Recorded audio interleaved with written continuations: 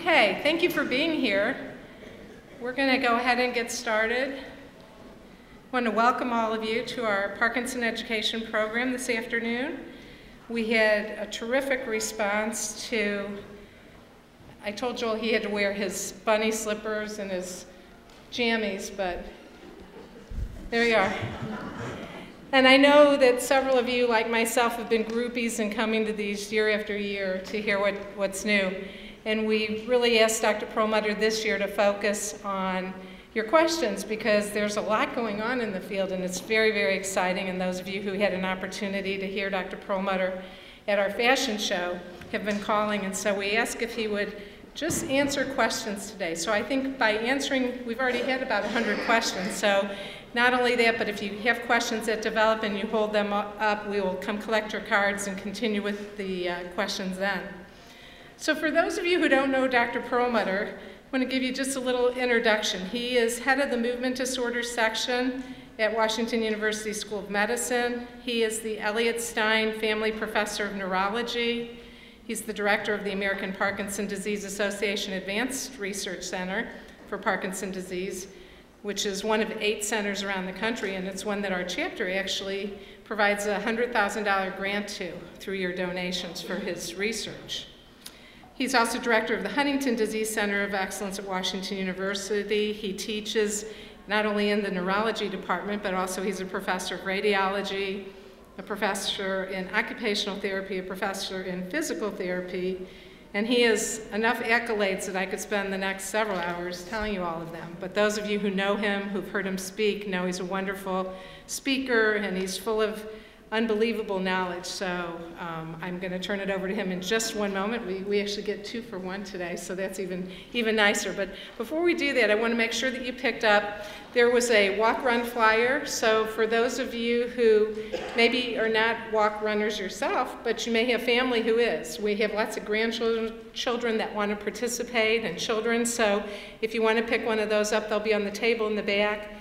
You should all by now have received your November link newsletter. So if you don't regularly receive these, and you should receive them quarterly, so the next, the, they come out in November, February, May, and August. So if you haven't received this on a regular basis, be sure and sign up at the tables outside.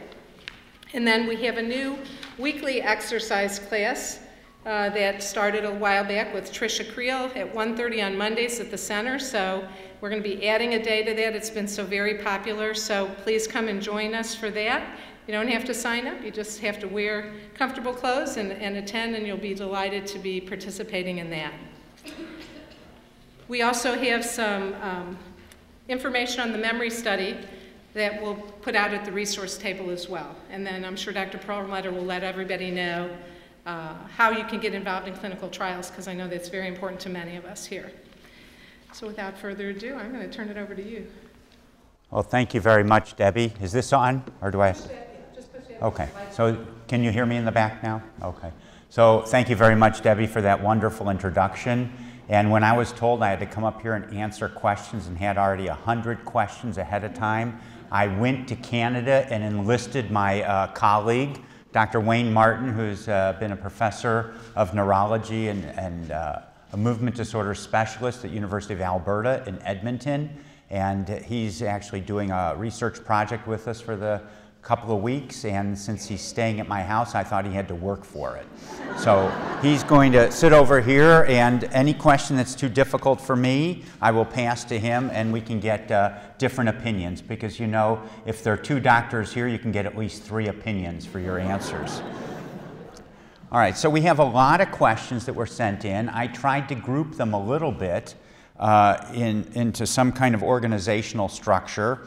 And uh, this is really weird. You know, I usually give a talk and show slides that people kind of know what they are, and I always have an opportunity to show pictures of some of my friends or at least part of my rock collection. And uh, so here I'll go ahead and start with this. So the first question is Is there any sort of general progression of Parkinson's disease? Even though we know it affects everyone differently? And are there plateaus? Does it seem to get worse and then even out? And the answer is for Parkinson's disease, it does progress. Everybody has progression. Ah, And right in the front row is Barb Mertz. Please stand up. Barb Mertz is our uh, research nurse. Our new research nurse has been with us since June. And uh, we're delighted that you are here, and we have some handouts that, if you have any questions about that, she'll be delighted to ask, answer. So, is there, a gen- everybody progresses with Parkinson's disease. The rate of progression varies from person to person, and some people may kind of seem to stay steady for a while, and then things may get worse or not. And how fast does it do? Does it go for each person is, is really quite variable. In general, there's some information and data that suggests people who start with tremor or shaking tend to progress a bit more slowly and tend to progress more slowly than people who don't start with that. But again, there's so much overlap, it's really hard to predict. So, kind of like the stock market, the past performance is not a bad predictor of the future, but I wouldn't bank on it. So, you don't know for sure. Dr. Martin, do you have anything to add about that? What happened to your microphone? Oh. No, no, I, I agree with everything that you say. It, it, people do slowly progress. Everybody's different. But um, what I tell patients is that generally speaking, things are going to continue to progress at the same rate that they have thus far, just like you said. And sometimes, if there seems to be a severe worsening over a short time, that may reflect something else going on, some intercurrent or additional stress like the flu, or I don't think anybody ever has any interactions or conflicts with their spouse, but any kind of stress may make things worse. Even constipation, if it gets really out of control, can temporarily make things worse, and then after the time of stress, it usually comes back toward baseline. All right, I'm going to move on to another question. Can Parkinson's affect my esophagus? Or as my anatomy professor would say, esophagus. And, uh, and this particular person goes on to ask My gastroenterologist, their GI doctor, told me that their chest pains were not heart related but may be caused by Parkinson's, and that has recently found that tremors can cause muscle spasms of the esophagus that, stimulate, that simulate angina or heart pain or or belly pain. Well, that's a bunch of things mixed up, but let's a- attack it directly. So the first answer is swallowing problems are very, very common in Parkinson's disease. And as we published, and many people have published over the years, and our paper was 25 years ago, I guess now. Thank you. It was, uh, who was the, um, but yeah, Linda Neal and yeah. So one of the major problems with swallowing is actually first moving the food from the front of the mouth to the back, then initiating the swallowing. Sometimes food or liquids may not go down in a proper way. So normally when you swallow, there are two pipes you have choices. You prefer to use the esophagus, so it goes down into your stomach. That's where food gets absorbed better or at least gets uh, chomped up uh, as opposed to going down the windpipe into the lungs. And there's some protective mechanisms that may not always work adequately and may become impaired in Parkinson's, such that some food or liquid can go down the wrong way. We call that aspiration. And a person may not even be aware of that. Other people feel that food sticks in their throat and they may identify that. And then there's a whole host of strategies that can be uh, used to identify the specific nature of the swallowing problem. And with speech pathologists work, speech pathologists, by the way, not only do voice but also are experts in swallowing. Then they can work on maneuvers to help uh, improve swallowing and make ensure that food or help increase the chance that food and liquid goes down the right way. So, yes, it's common. It's usually not painful, although occasionally when food sticks in the esophagus, that can be painful. There is some less, uh, less, um, less work has been done on the function of the lower part of the esophagus as it hits the stomach, which can crunch down and cause esophageal spasm. So, do you have any information about that? Not really. I think it's worth uh, cautioning people not to assume if they have chest pain, not to assume that it's an esophageal problem related to their Parkinson's. That's, they may have angina. Right. So just because you have Parkinson's doesn't protect you from heart problem. Very good point. So what I've been talking about mostly is difficulties with swallowing, not so much pain on swallowing. So if you have pain, you really need to be checked out by your doctor. Good point. Next question. I cannot urinate. Oh, that's what they were asking, not me. I'm sorry. Okay. The urologist seemed to say this was due to Parkinson's. Is this true? What causes it? Is there something I can take that is safe with PD to take? All very good questions. So, uh, in men, difficulties with urination, hesitancy getting the flow going, incomplete uh, emptying of the bladder, dribbling, all can be signs of an enlarged prostate as it squeezes down on that tube that comes through the penis called the urethra, the, which you empty the bladder. And very similar manifestations can occur with Parkinson's. And in women, it's less confused with prostate, right? Because women don't have prostates. Uh, but they can have exactly the same symptoms. Uh, dribbling uh, can also be a problem with prolapsed bladder that can occur after childbirth as well. So, yes, their uh, difficulties with urinating can absolutely be part of Parkinson's, but like chest pains, are not necessarily part of it. Uh, there are a number of different medications to try to help with that. And uh, is it safe to take them with PD? It may be, and in some people it may not be. And so there are different kinds of problems that affect the bladder. One group of problems is very is frequent urination, and so medicines that help reduce that frequency, particularly waking up in the night to have to urinate a whole bunch of times, which can interrupt sleep and make people sleep deprived. There are medicines to, to treat that, and some of those medicines are what we call anticholinergic medicines.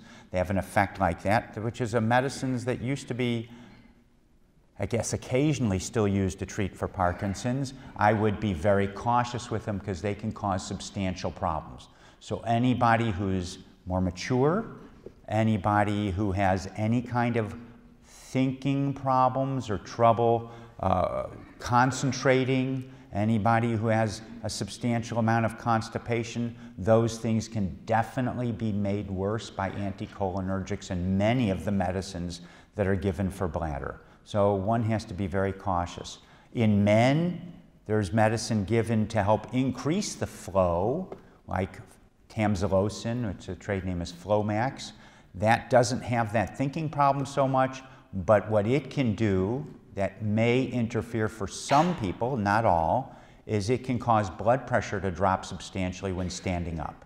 And so that can be a problem already in people with Parkinson's. The medicines we normally give for Parkinson's to help the movement can make that worse, and tamsulosin or Flomax in some people can make that worse. So if you need to take that, you must do it with caution and make sure you talk to your Parkinson's doctor before starting other medications. At least that would be my advice. Okay. I got that one right. Phew.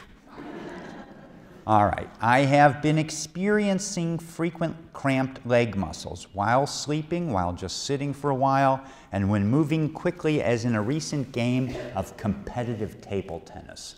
Now, this guy's talking my language here. Uh, I played a lot of table tennis. For those who are more mature, probably nobody mature enough, my father was first in the country in doubles in the early 40s, second in the country in singles in the NCAAs, but lost to his doubles partner. But I digressed. What was the question? Oh, yes. Um, leg cramps. And are these Parkinson related symptoms, and what can I do to reduce the onset and reduce the pain? So the answer is yes, they very well may be. They don't have to be, but that's a common manifestation. So leg cramps can occur really as leg and foot cramps and toe curling can be the first manifestation of Parkinson's in some people. Everybody with leg cramps doesn't have Parkinson's or not doomed to get it, but that can be for some people uh, a early manifestation. It also can be a manifestation that's related to treatment. So when somebody takes levodopa or carbidopa levodopa, the medicine kicks in, wear, lasts for a period of time, may wear off, and some people, if they don't, and I keep harassing when they come into my office, how long does it take to kick in? How long does it last? When does it wear off? But early in the course and with milder PD, you don't notice those kinds of fluctuations.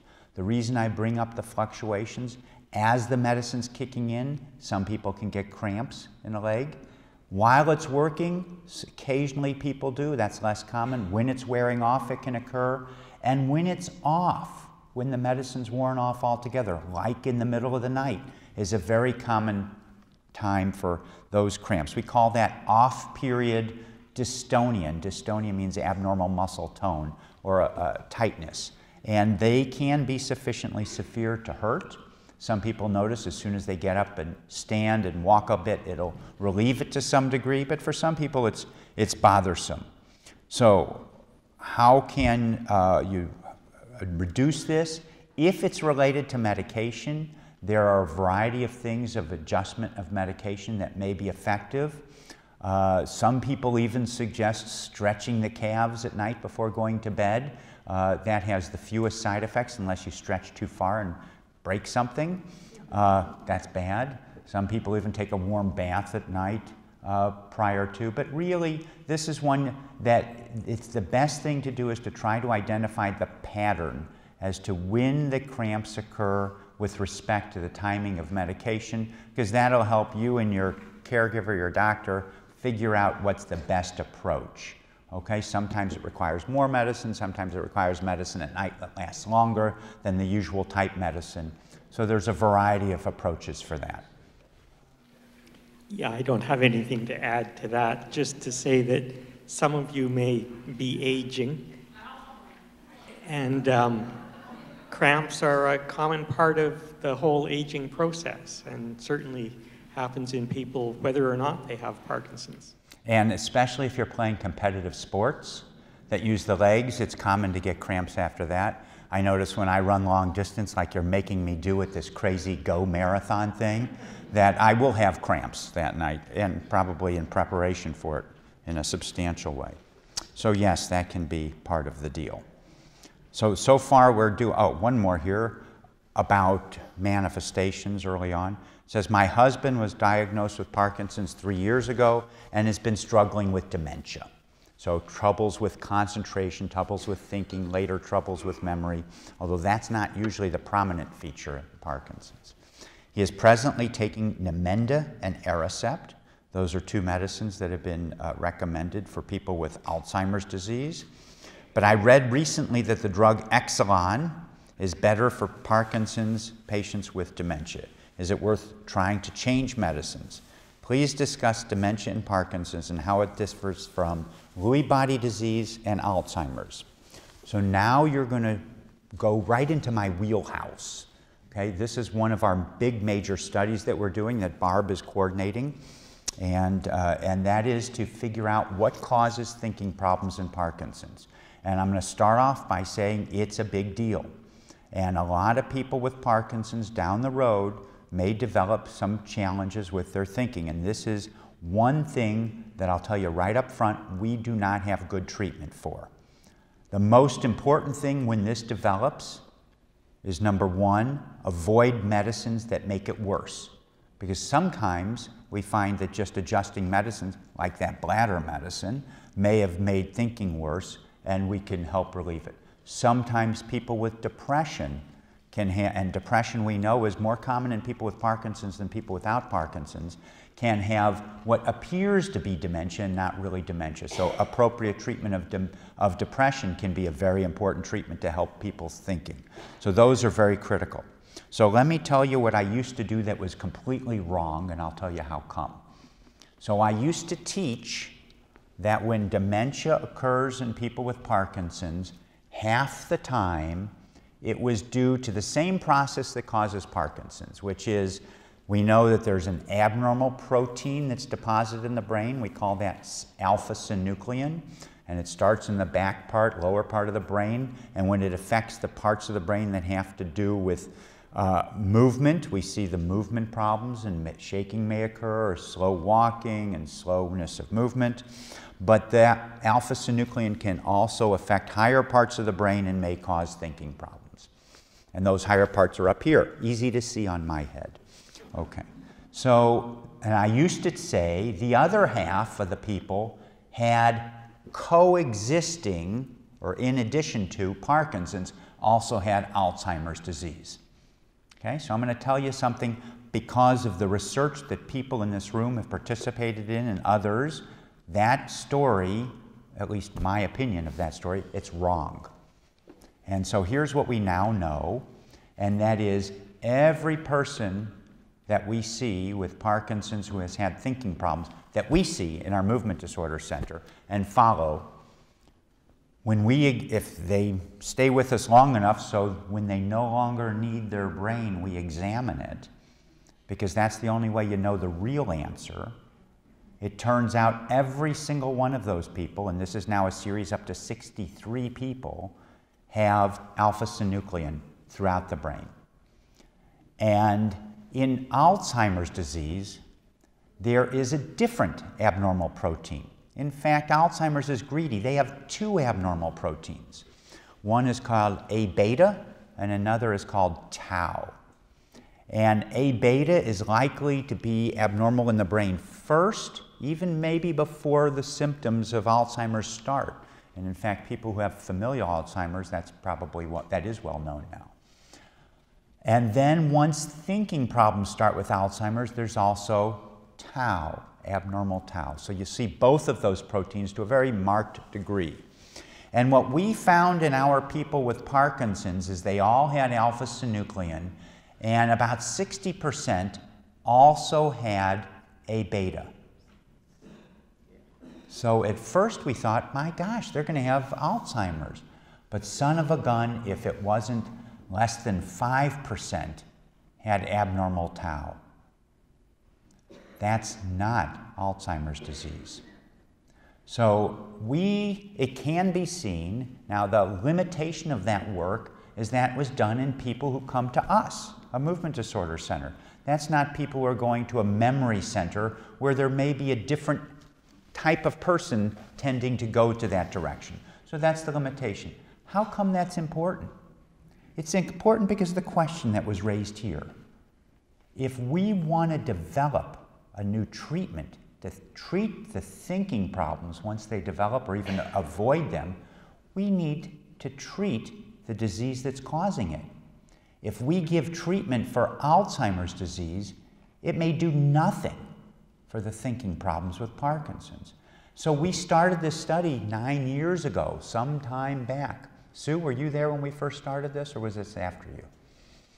Ah, okay, I'm looking back to Sue Levin, who was a major player in our chapter, the beginning of the chapter, started it and ran it for many, many, many years in a very superb way. So, it's very important for us to sort that out. And when we started this study, we started it because there was a new kind of PET scan a scan where you could lie down in a scan, lie down in the scanning machine, and we could inject into your vein a medicine or a drug that would go to the brain and show us abnormal A beta. And the reason we started this, we said, okay, we're going to take people with Parkinson's, with or without any thinking problems, and take people without Parkinson's, do these scans of A beta, do a whole bunch of thinking tests, a whole bunch of analyses, even get spinal fluid from them because there's important me measures we can make there, and MR scans, and follow them and see what happens with the idea that if the A beta PET scan shows this abnormal A beta, that they would be people with Alzheimer's. But we followed people long enough, and when they no longer needed their brain, then we studied it. And that's still part of the study, and a very important part of the study, a part of the study that my father was in.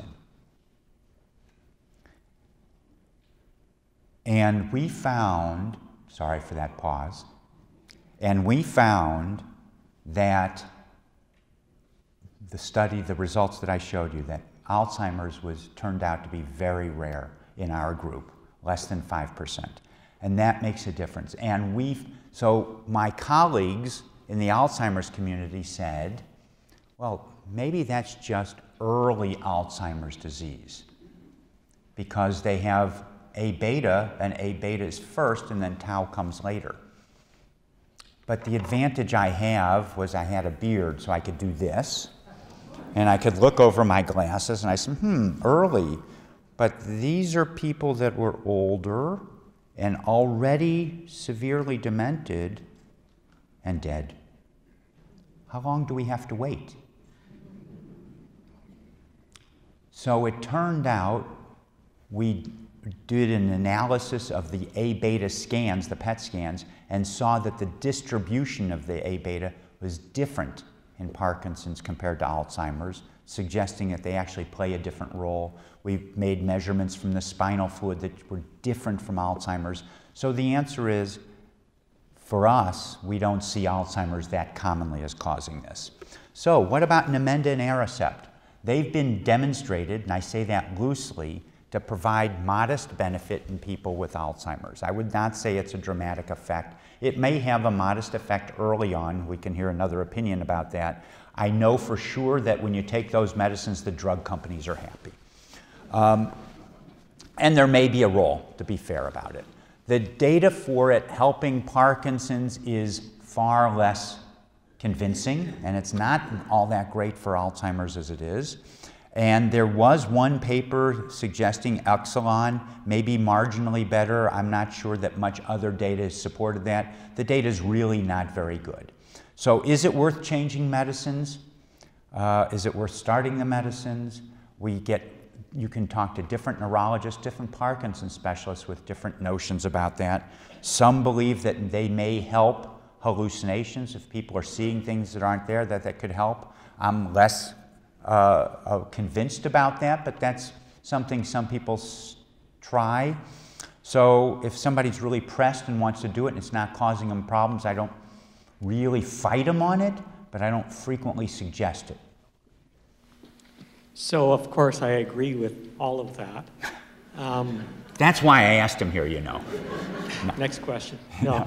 Um, it's drugs like Aricept um, and the related drugs were developed for treating Alzheimer's, but they're not specific to Alzheimer's disease.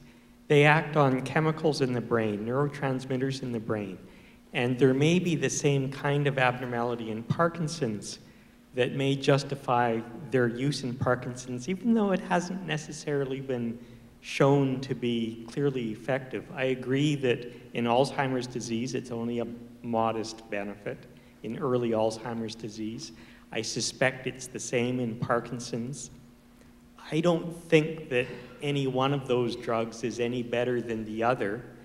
Uh, it may be worth changing if, if uh, one drug has been tried and you're not seeing a significant benefit. It may be worth changing to a different drug. Uh, there is very little head to head comparison with these drugs in the literature. And the other thing, and you've mentioned this already, is that you really have to remember that all medications have potential side effects. And we spend a lot of our time in dealing with side effects, and we have to balance all of these medications. We have to balance the beneficial effect of the medications with the side effects. And sometimes the side effects are worse than the underlying problem that we're trying to treat. So we always have to keep those issues in mind. Thank you. Oh, next question. Are Parkinson's symptoms affected by either too much sleep or not enough sleep? Yes. Next question. so, sleep deprivation, which can be related to Parkinson's or unrelated to Parkinson's or related to uh, maturing, as I like to call it, as I've passed that threshold in some cases. Uh, sleep deprivation is another form of stress that can make anything worse, including Parkinsonian features. So, if one is constantly tired, that can be a problem. We believe, and there's increasing evidence about obstructive sleep apnea. So, this is with people who snore a lot at night and intermittently wake up in the night and have very poor sleep. They have troubles with sleepiness in the daytime because they're not getting good rest at night.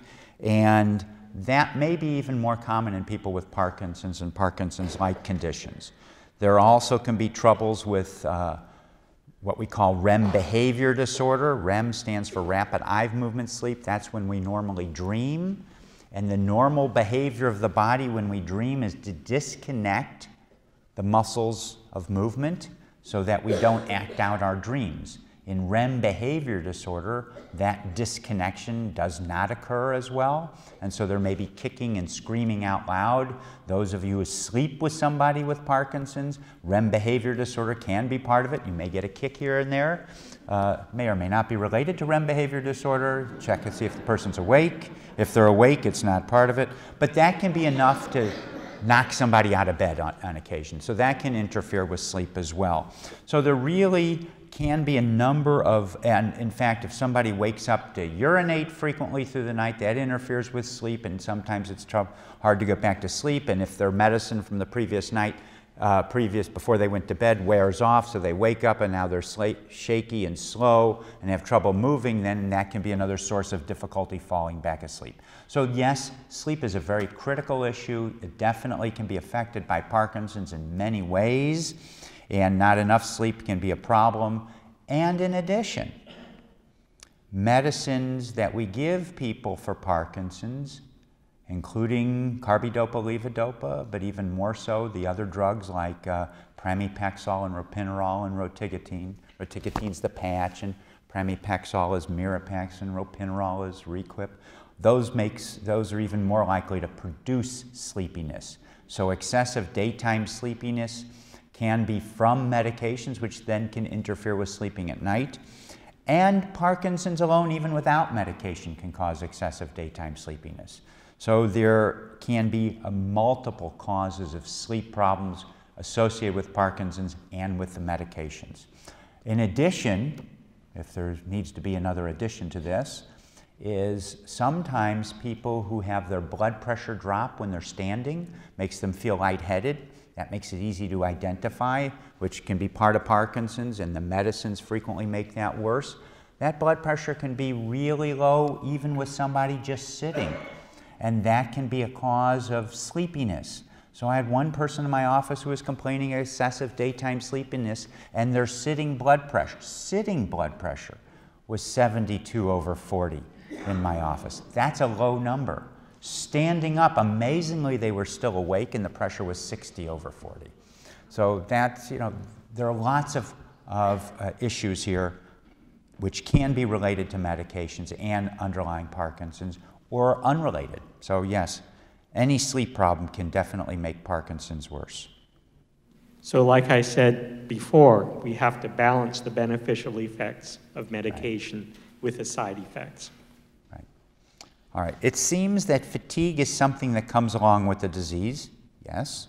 What do you instruct patients that sleep all night and then get up and want to lie down more? Seems like lying down in the daytime just makes the nighttime sleep. So there's a little bit of what I talked about already. And so the rest of that sentence was it seems that the nighttime, the daytime sleeping or napping in the day tends to make their sleep at night worse, and that's correct. We call that poor sleep hygiene. And so if somebody's having trouble sleeping at night and they're sleeping too much in the daytime and they take naps of two or three hours, two or three times in the day, then there's not much time left for sleeping at night, and so everything gets mixed up. And so trying to stay awake in the daytime is important. So what do we instruct? As Dr. Martin would remind me, first thing we do is we check medicines that are making that worse and adjust them uh, properly. And it could be the Parkinson's medicines, it could be antidepressant medication, it could be any host of medicines, and we try to reduce or eliminate those that are particularly bad. And even if we do all of that and have people just on carbidopa, levodopa, which is probably the most eff- efficacious with relatively fewer side effects when there gets to be problems, and still has too much sleepiness, then we may try to give something to help somebody stay awake, like caffeine, for example. First time, you know, in the morning and maybe at noon as well, but not later because that'll interfere with sleep as well. But again, those specifics need to be discussed with your doctor because there are potential side effects of caffeine. And if somebody has heart irregularity, that's not a good choice. And if somebody has, uh, you know, they're constantly urinating all the time, that could be a, an issue for that. So there are a lot of other potential problems. And there are some other drugs that we occasionally try that are much more expensive, but caffeine is a, a good first way after eliminating the offending other drugs. Yeah. Okay. Debbie has this next question. Uh, oh, I love this one. My question, this person says, is about the relationship, if any, of Parkinson's through the skeletal vertebra. Does deformation of any vertebra affect the path of receiving medication or brain impulses? Wow, what a question. This is really cool. So the, you know, the easy answer would say, oh, no, no, that's silly. But there's, there's really more to it than this. So, the, let's, so first of all, uh, let me give you a little lecture on anatomy. Brain is up here. It sends nerves down through the neck, through the spinal column, okay? And you goes through the spinal cord, and around the spinal cord sits encased in the vertebra, which has a space for them to go through. And if the vertebra gets scrunched as we get more, as we get older, or wear and tear as we get arthritis of the vertebra, it can push on that. And that indeed can interfere with impulses coming down from the brain to the rest of the body. That's not usually a Parkinson's problem. Okay? That can cause pain, it can cause weakness, it can cause bladder problems, it can cause constipation, it can make people paralyzed even if it's really bad. So there are lots of different ways that vertebral or vertebra problems of the bony vertebra that can actually interfere, and even the cushions between the vertebra called discs, they can pop out and squish on to the nerves that are coming out or even onto the spinal cord itself. So, yes, that can be true. Does it have anything to dopamine production? Not any way, shape, or form that I'm aware of. So, I think it's totally unrelated to the major manifestations of Parkinson's.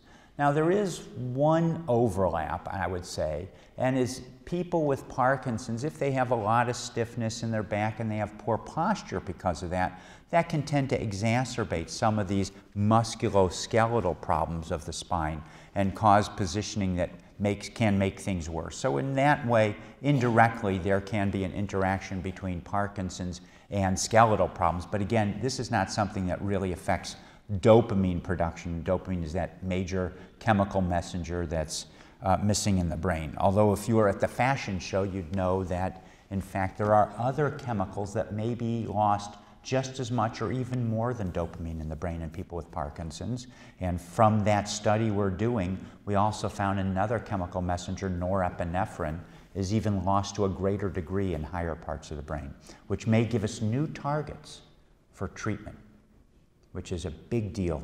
So participating in that study has played off and provided incredible benefit potentially down the road. Um, skeletal, any other comments about skeletal vertebrae? I probably beat that one to death. Just remember, we talked about the aging thing before, and arthritis in the neck and the lower back is really part of normal aging, but it doesn't have a direct relationship to dopamine right. production in Parkinson's. Right. Debbie, next question. The body has symptoms to regulate the production of chemicals such as insulin and neurotransmitters. What is the regulatory system that turns on and off dopamine production? Let's let you do that first.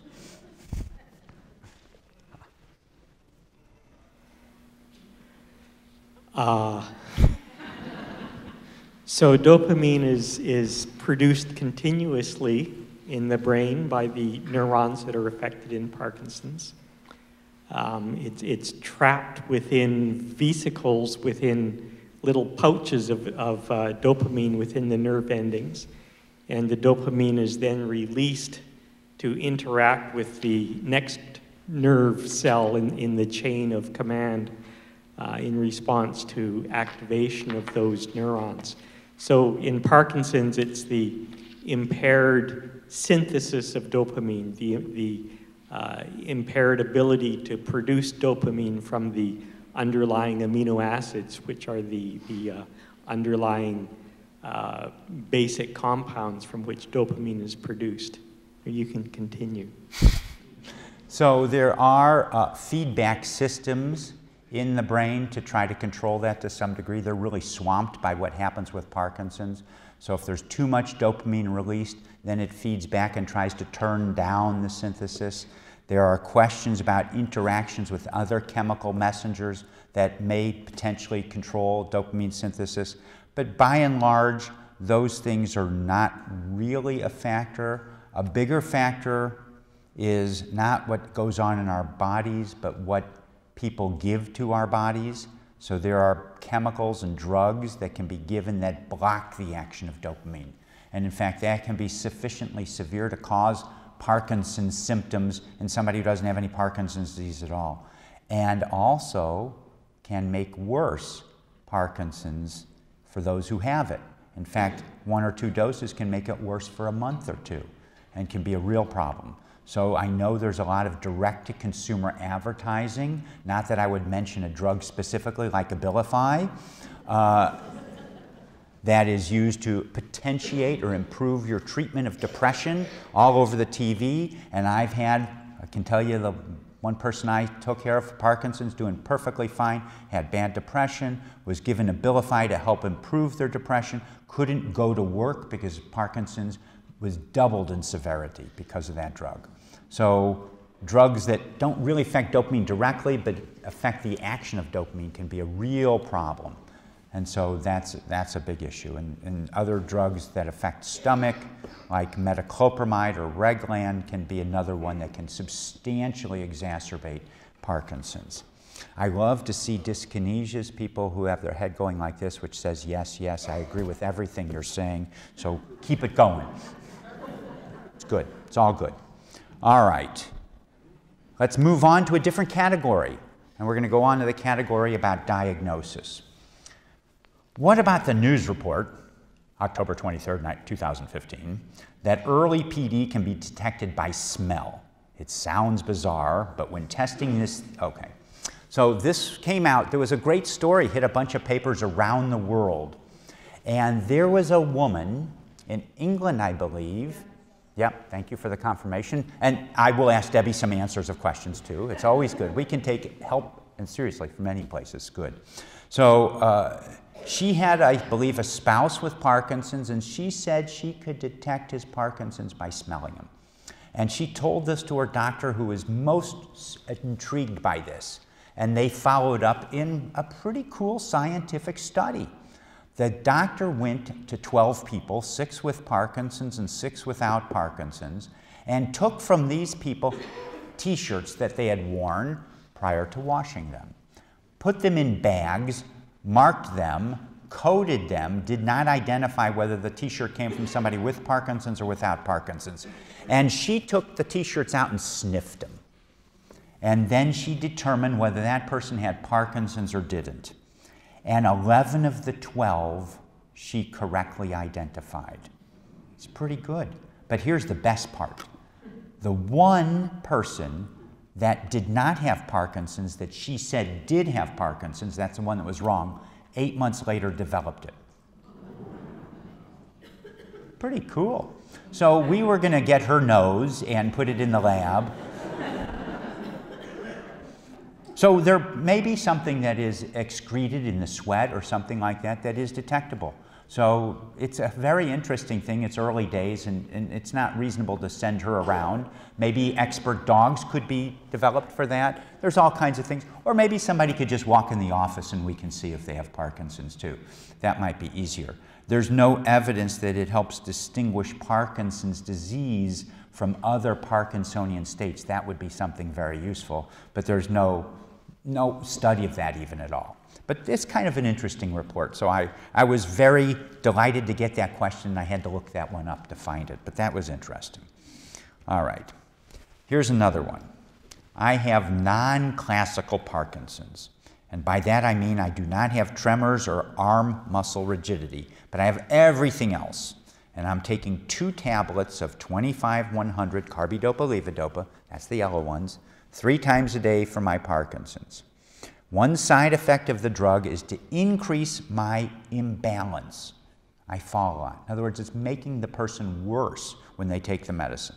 The amount of imbalance I have during the day varies. Normally, after taking my pills, my imbalance in increases and then slowly gets better until the next time I take the pills. Any recommendations for treating this side effect? So the first thing that needs to be sorted out is what the heck is going on. All right? So question number one is, does that person have true Parkinson's disease? That's one question. Uh, that's not always an easy answer to sort out, and no, no scan will distinguish that. I'll just throw that out there. We can talk about that more. And then the question is could the medicine be doing something that's actually making the imbalance worse, as this person suggests? And the answer to that, yes, there are a couple of possibilities. So, for ex- but I don't know if it's the case for this person. And that makes all the difference, and you have to sort that out. So, for example, if the medicine caused dystonia or a cramping of the foot and the foot turning in, then walking balance could be thrown off. Okay? That's one way it could happen. If the medicine caused the blood pressure to drop more when standing up, then that person could be imbalanced. A lot of times we think when blood pressure is dropping too much, people feel lightheaded like they're going to faint.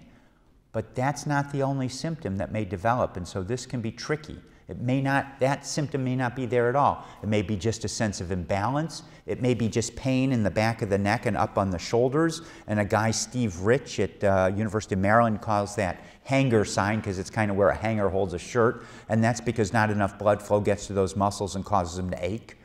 And so that can be another sign. One person I had told me they just feel weak in the knees, but they don't feel lightheaded at all, and her pressure was dropping to 64 over 40 also, standing up, so that was a major sign that went away when we treated that. So there can be other things from DOPA or other medications that can increase the imbalance. Uh, so the question is in this person, what's the diagnosis? And we don't have enough information to know that. Uh, we do know that not everybody with Parkinson's develops a tremor, and it's not at all uncommon to not have a tremor. So whether there is one or not doesn't help a great deal in making the diagnosis. And about a third of people don't have tremors, what I usually say. Right. Um, and the other thing is, is why is this person receiving medication?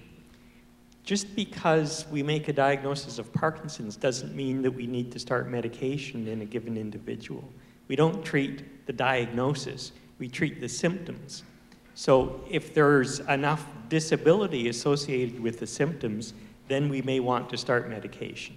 If there is not significant disability, and we discuss this with the patients, if there isn't sufficient disability to justify taking medication, then there's no reason to start. And there, there's, it's perfectly safe to wait a year or two years or however long it may take uh, until the diagnosis is more clear and until the symptoms really do merit treating with medication. Many patients that I see, when I explain this to them, they say, well, okay, I really don't want to take medication, and if I don't have to, I won't. That's fine. Okay. Next question. Thank you for that. It appears that Parkinson's disease can sometimes be difficult to diagnose. Uh, then they asked, could I explain what a positive result for blood test code 559 Park 2, parentheses Parkin, DNA sequencing test, and blood test code 554 Park 7, DJ1 DNA sequencing test mean? Sure, that's obvious. So when, when I asked Dr. Martin about this one, we both raised our uh, eyebrows. I, I, think I actually know what you're talking about here, but the, the blood test code is not something we would normally deal with. And I was just wondering if that person is here, if that's from 23andMe, they're getting a blood test code, or somewhere they're getting a code. But they identified actually what gene. So the issue is this there are rare causes of specific genetic mutations that can lead to Parkinson's disease. One of them is Parkin, and that was their code 559. One of them is even more rare, is PARK7 or DJ1. So both of those can lead to it.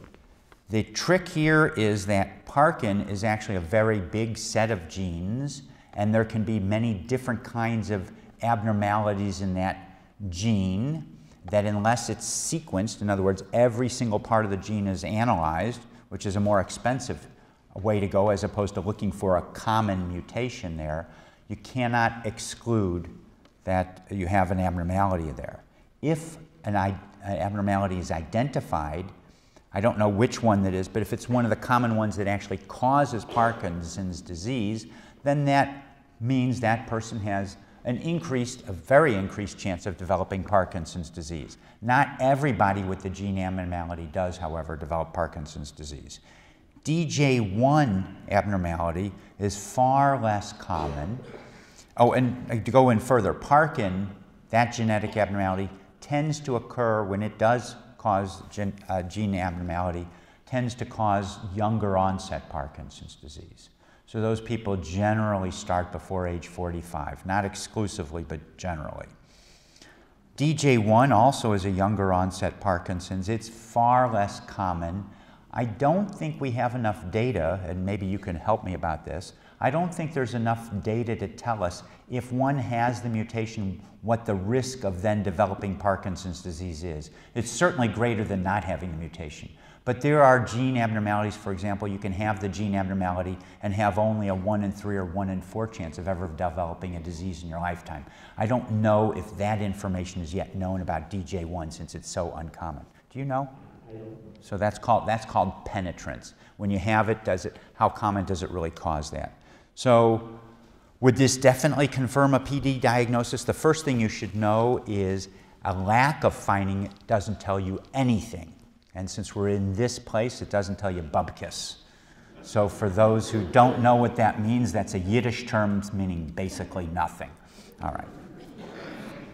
Uh, and uh, additional information Parkinson's does run in the family, mother and aunt, and so is it inherited, which is really a very important question. And the answer is there may be, and there is, a heritable component of Parkinson's. Most people don't have it run in families. In our center, we have about 15 or 20 percent of people have a relative, a first degree relative, so it's parent, brother, sister, uh, that have Parkinson's disease also. But that's far less than the risk of somebody with just Parkinson's disease sending it down to a child, is much, much less than that. Of those people, so the most common genetic defect that we know about today for Parkinson's disease is a genetic defect we call LRRK2. That most common one for those people who just have Parkinson's disease without even a family history, about 1% will have that gene abnormality. If you have Parkinson's in your family, strong family history, then your risk of having that gene abnormality in St. Louis, because we did this study and published it, is 2.9% or 3%, still very low. Now, there are two exceptions to that risk of that, again, just I'm speaking about the most common genetic defect. And that most common genetic defect, LRRK2, is much higher in Arabs from North Africa if they have Parkinson's and it runs in the family, then the chance of having that gene abnormality is about 30 or 40 percent in Jews from Eastern Europe or Ashkenazi Jews, if they have it run in the family, familial Parkinson's, their risk of having that gene defect may be around 20%. So there are some cases. Overall, we think the genetic risks may represent 20 to 25% of the risk factors in total with all kinds of things. But I think we have a lot more to learn about this. And so, yes, there is some heritable component, but just because you have PD doesn't put your family at really a substantially much greater risk. Okay. All right. Can Parkinson's cause any physical pain? How does one distinguish between pain caused by PD and other pains such as arthritis? So I didn't group this one into the right group, but I'll take it now. And how do you treat the pain? And the, the treat the pain based upon what causes the pain. And as Dr. Martin has emphasized multiple times, if you have a pain, you need to sort it out. Can pain be part of Parkinson's? Absolutely. Is the pain, you know, uh, go away when medicine kicks in for your Parkinson's and then gets, uh, uh, gets worse when the medicine wears off? That would be a clue it could be related, but it doesn't necessarily be that could be the only cause of that pain. That could just be exacerbating something underlying. So again, pain is one of those things you really need to go through the details with your doctor about, whether it's leg pain or neck pain or shoulder pain or arm pain, all of those things. There's too many, too many possibilities about that. But I can tell you there are a number of people that have been sent to me by physical therapists because they went with a pain in their shoulder, the physical therapist, and they started off with uh, tendonitis in the shoulder, and the therapist, as opposed to their internist or family practitioner, uh, noticed that they weren't swinging the arm right and they were a little stiff and may have had a little shake or not having a shake and sent them to us and they turned out to be Parkinson's. But you know what? There are a lot more people with shoulder pains that don't have Parkinson's than do. So there's a lot of overlap in that one, and I wouldn't, I wouldn't uh, jump on that so much. Okay. I'm learning from him, so I know what he was going to say, so I, you know, was proactive. Please discuss the use of colonoscopy. Oh, there's more. Okay. Uh, David Perlmutter, I'm going to digress for a moment. David, David Perlmutter, and not the David Perlmutter in Florida that I wouldn't say is a quack unless you ask me. This is David Perlmutter, who's coming to be Dean of the Medical School at Washington University from the University of Pittsburgh, who's actually a uh, pediatrician. He's a very bright, wonderful guy. Did a lot of GI work, actually, in, in the past. Why did I say that? I have no idea. Okay, so colonoscopy to secure a biopsy and diagnose PD before motor symptoms appear. Uh, well, it turns out in the colon and in the GI tract, there are patches of nerves, and those patches of nerves may in fact be affected by Parkinson's and likely are. With that protein, remember I talked about alpha synuclein? Can even identify alpha synuclein on those in a biopsy and looking at it under a microscope.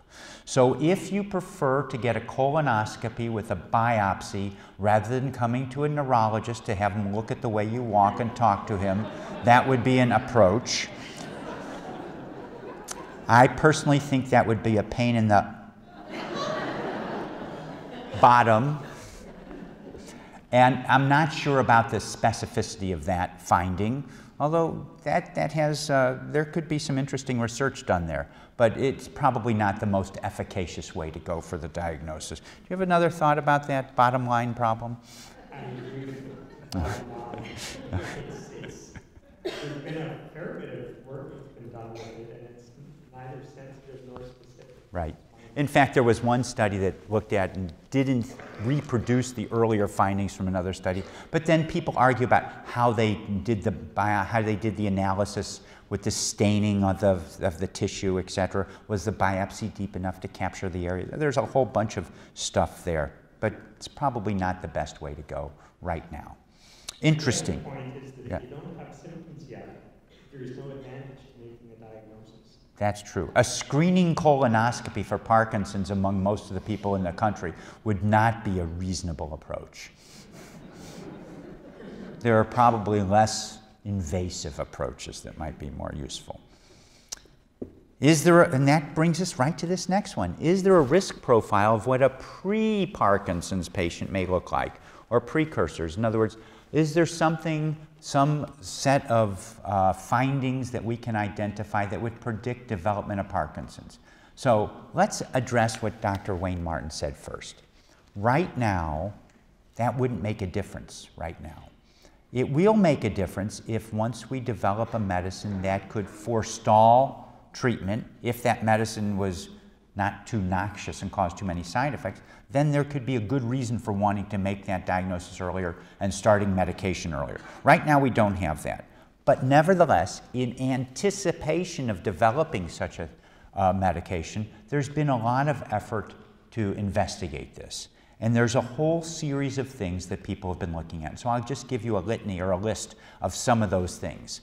And the first thing to keep in mind is none of these are specific for developing Parkinson's disease alone. So a lot of people have these conditions who never develop Parkinson's. So that's really an important point. So what do they include? Constipation, number one. A lot of people are stopped up and don't get Parkinson's, okay? But constipation may be a very early manifestation because of what we were talking about, because of the alpha-synuclein.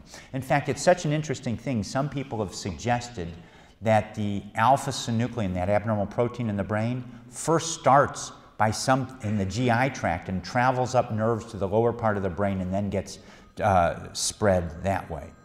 So that remains to be determined, but people are looking at that. So constipation, well, next one, loss of sense of smell, which translates into loss of taste because smell is 70% of taste. That can occur before symptoms of Parkinson's. How about another one?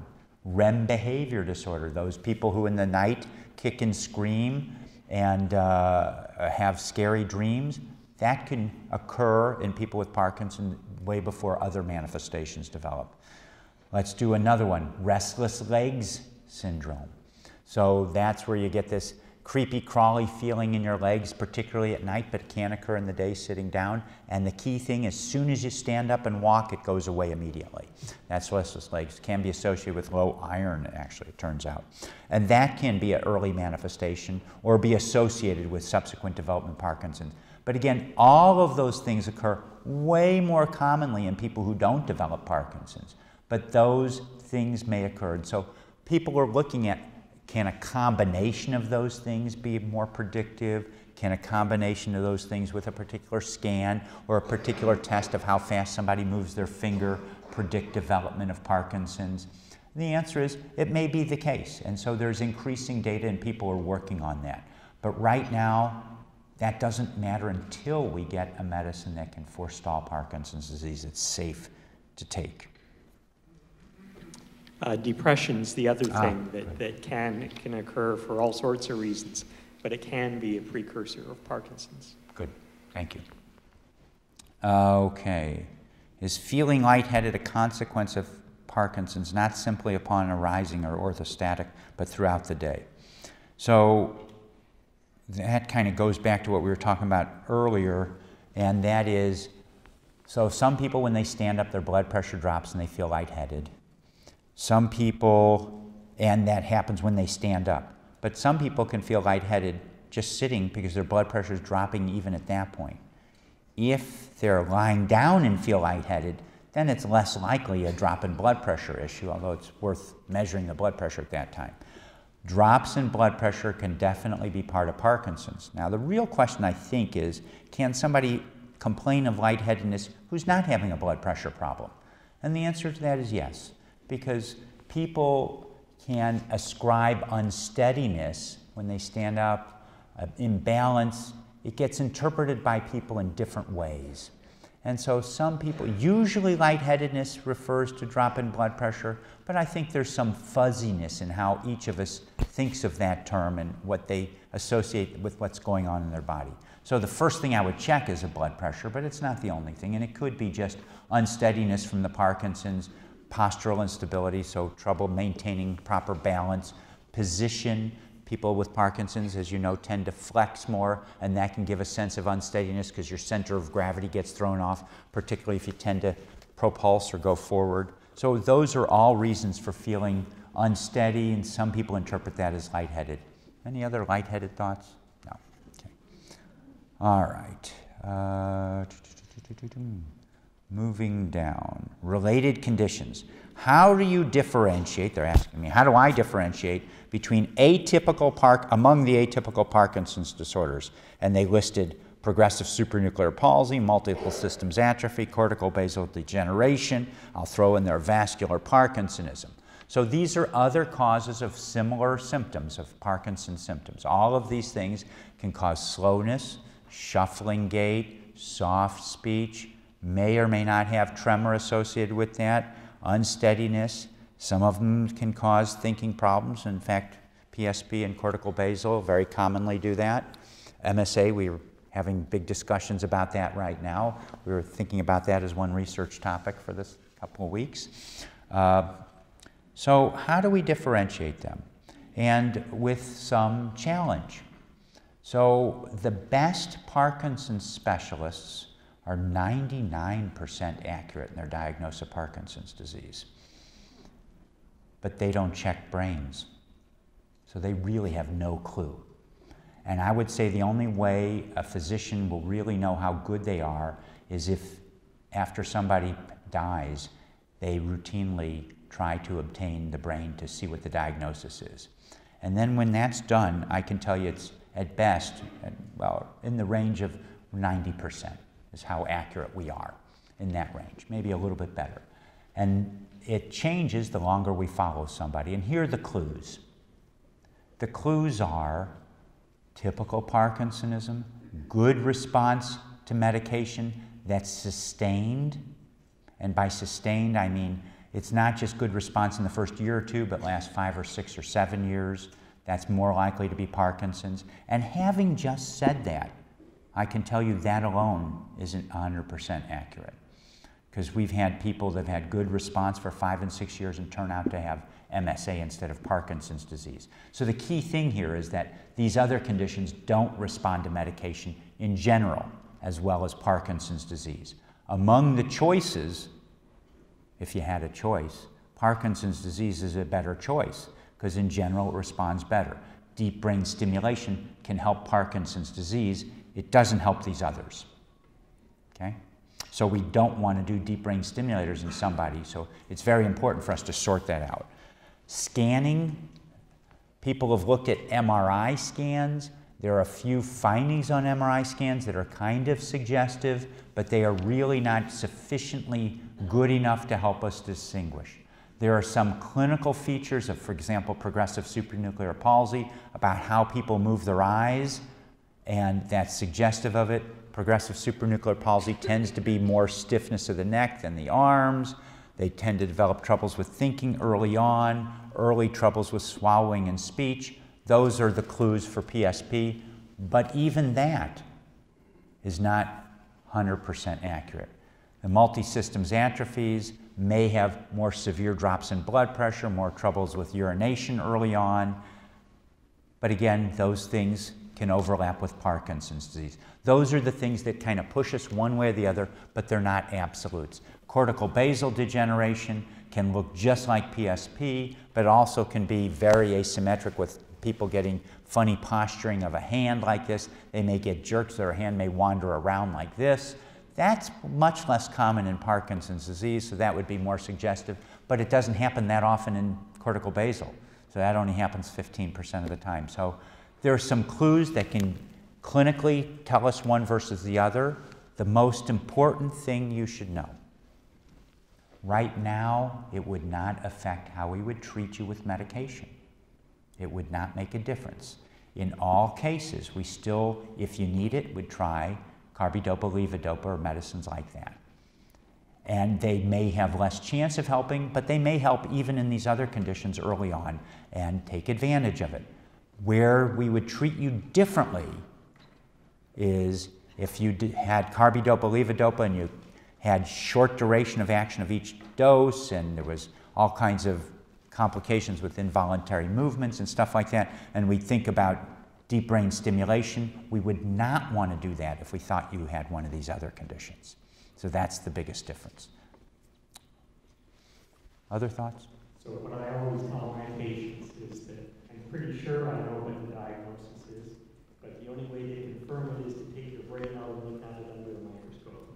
And so far, nobody has taken me up on that. I'll, I'll, I bring that up the first time I meet anybody.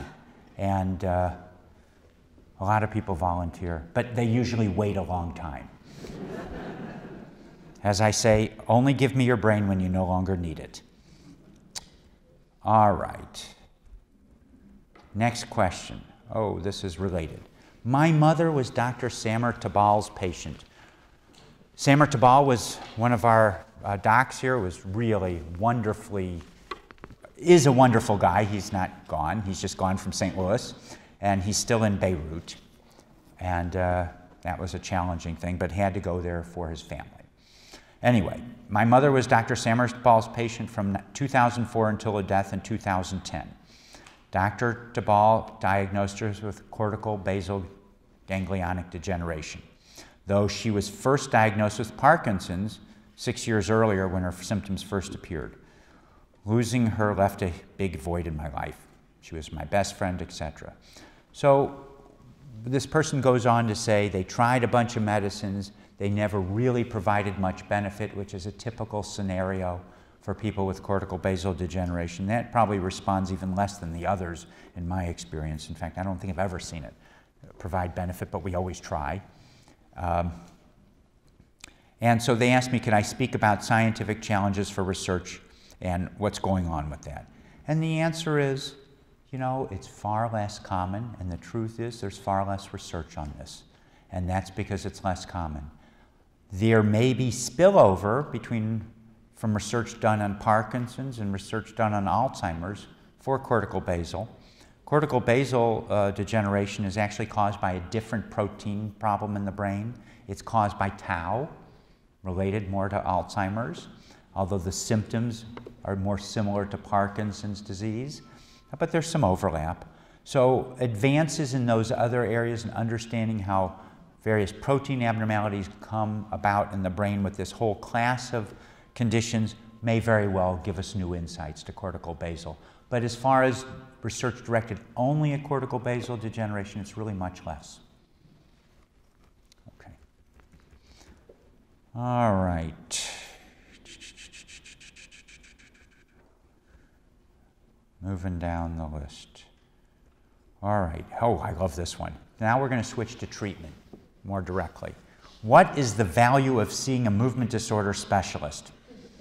Well, first time visit, I'd say about $450. now, if you're in the Canadian system,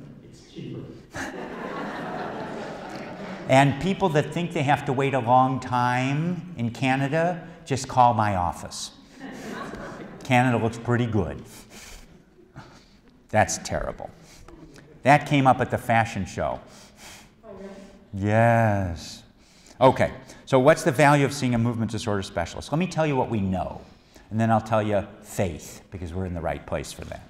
So, what we know, a study published by uh, Allison Willis with Brad Racette, two people here, demonstrated looking at Medicare records, and it was only based on about 455,000 people in the US, so that's some limitation, but they were older people, it wasn't young onset. And it looked at how long people lived, whether they, how long it took before, if they needed to go to a nursing home or the risk of that, or breaking a hip. And it turned out that people treated by a neurologist for their Parkinson's, as opposed to their primary care physician, lived one of a lot longer and a lot better. Much less risk of going into nursing home, less risk of falling and breaking a hip. So that we have data for. So is there some value in seeing a movement disorder specialist? Does that really translate? Well, I think it's probably true, but we don't have data for it. But what proximate value is there? Well, movement disorder specialists far more likely to know about the latest research, the newest medications, whether the newest medications are worth taking. There are a lot of new medications that have new and improved side effects that may not be necessarily a good thing. So, at, for you in particular, so each person, you know, you're human beings, you're not petri dishes. Everybody's different. So, going to somebody who's really familiar with that has an advantage. There's another advantage. Now, here's my bias. You may get involved in research because your movement disorder specialist may be doing research. Does that matter to you? It sure as heck has the potential to matter to you, and especially to your kids and our next generation. But I would say we've made advances that are helping people today. I mean, medicines that are taking, people are taking now are medicines that were developed in research during our lifetimes, obviously, and not so long ago. So being involved in research is important. And I'll give you another piece of information. If you're in a drug study and it's scientifically controlled, because if you're not in a scientifically controlled drug study, which means you're either taking the real stuff or a fake tablet or something else to compare with. If it's not done that way, it's probably not worth doing because you'll never get an answer that's interpretable at the end. Even those people who get the placebo, the fake tablet, there's evidence to suggest that they do better. And one reason may be, now I'm going to speculate, because when you're in a study, there's a heck of a lot more attention paid to make sure everything's just so so.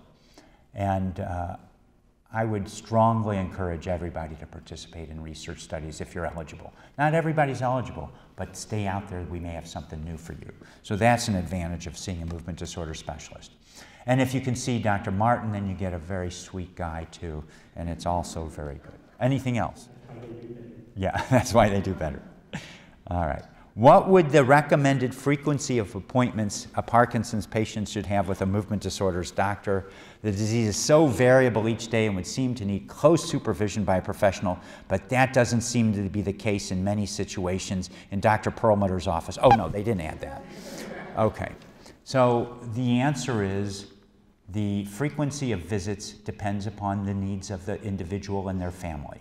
And so the general need to be seen, quite frankly, more, more frequently than they were seen in my office. I'm going to tell you that right now. We were so swamped, I was pretty much seeing people once a year. A disaster. We took a lot of phone calls and we did a lot of care over phone, which is great, but it's not the same. We've actually remedied that, thank goodness. So Barb is here because she replaced Johanna Hartlein, who was our research nurse for 15 years. Johanna is a nurse practitioner. I would venture to say Johanna knows more about Parkinson's disease than most neurologists.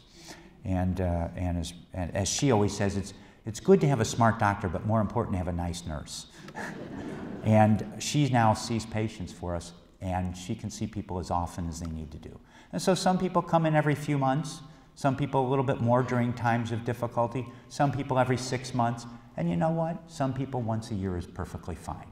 And that doesn't have to stay the same, it could change depending upon needs. So it's really very variable depending upon what's going on. And how comfortable, how much you can relate the symptoms over the phone, and how much time your doctor will spend talking to you or the doctor's office will spend talking to you. Do you have a set answer for that? Uh, no. I, how often do you typically see your patients? Well, I have the same problem that you do in that there's more patients than there is time to see them. Um, the usual time is about every nine months. Yeah. Some do fine with 12, some it needs to be six, some it needs to be more often than that. Right. And nurses are really important as well. Right. And, and contact with the nurses when the contact with the physician isn't possible can certainly help a great deal. Right. Now, our system might be a little bit different too, uh, in that I'm not the only physician involved with my patients, and they all have a family doctor. And some of them can be managed fine seeing their family doctor regularly and their uh, movement disorder specialist less frequently. And there can be contact between physicians as necessary as well. Right, and most of our patients have an internist or a family doctor as well.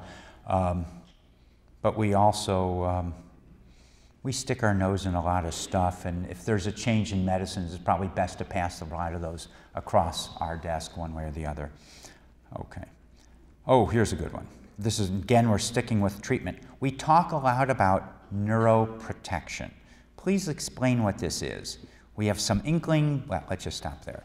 So, this is really a key question neuroprotection. And this is, is not so it's, it seems like it should be an easy answer, but it really, when you get down to details, it's not. But the idea, neuroprotection, is to either stop the progression of the disease in the brain, reverse it, or slow the progression of the disease in the brain, which should translate into reduced symptoms that the person has or reduction of symptoms.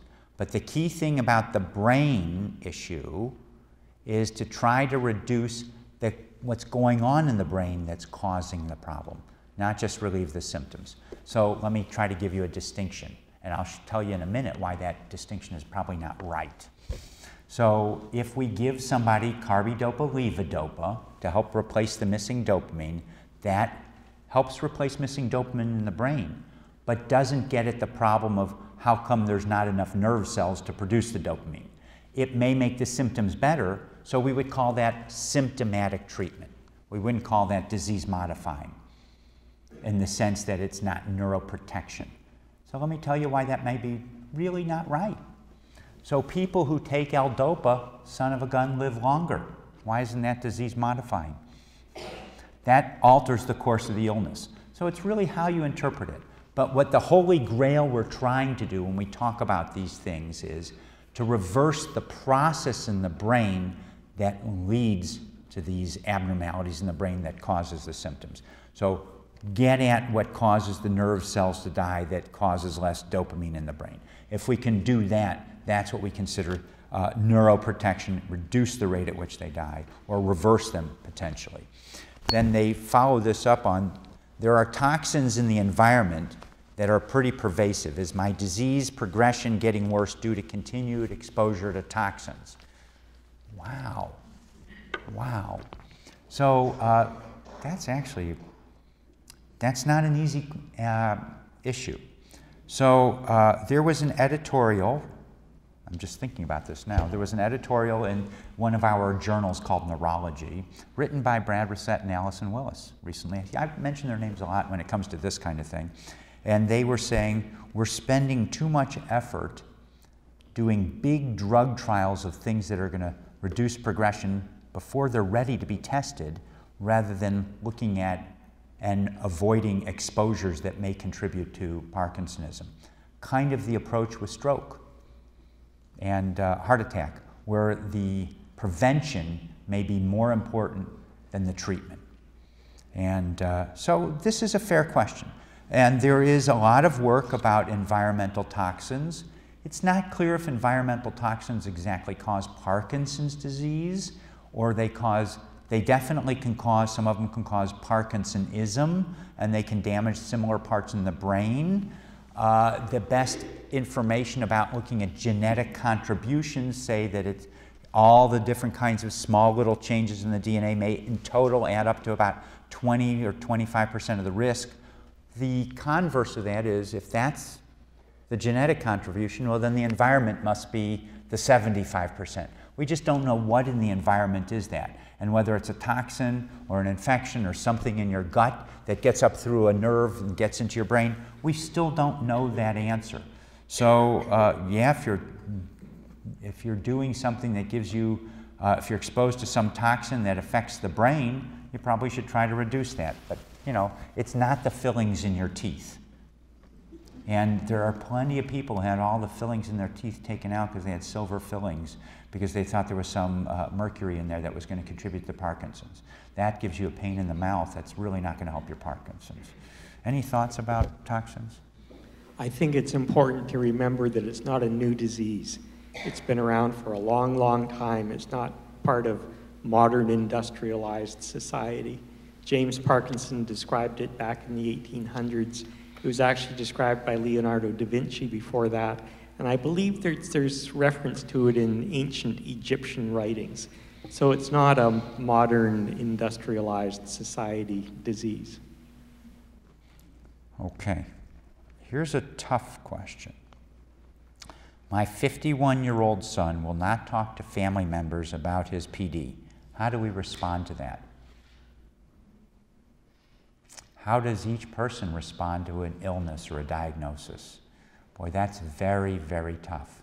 So I think if you have a family member or a close friend who has a diagnosis and they're not talking about it, you know, people go through different stages when they learn about a diagnosis. One can be denial that it's really, really me, I don't really believe it, or anger, or, you know, all these kinds of things can go on. And then there may at some point become acceptance. So the best we can do as caregivers and family members and friends is to be there. Be ready.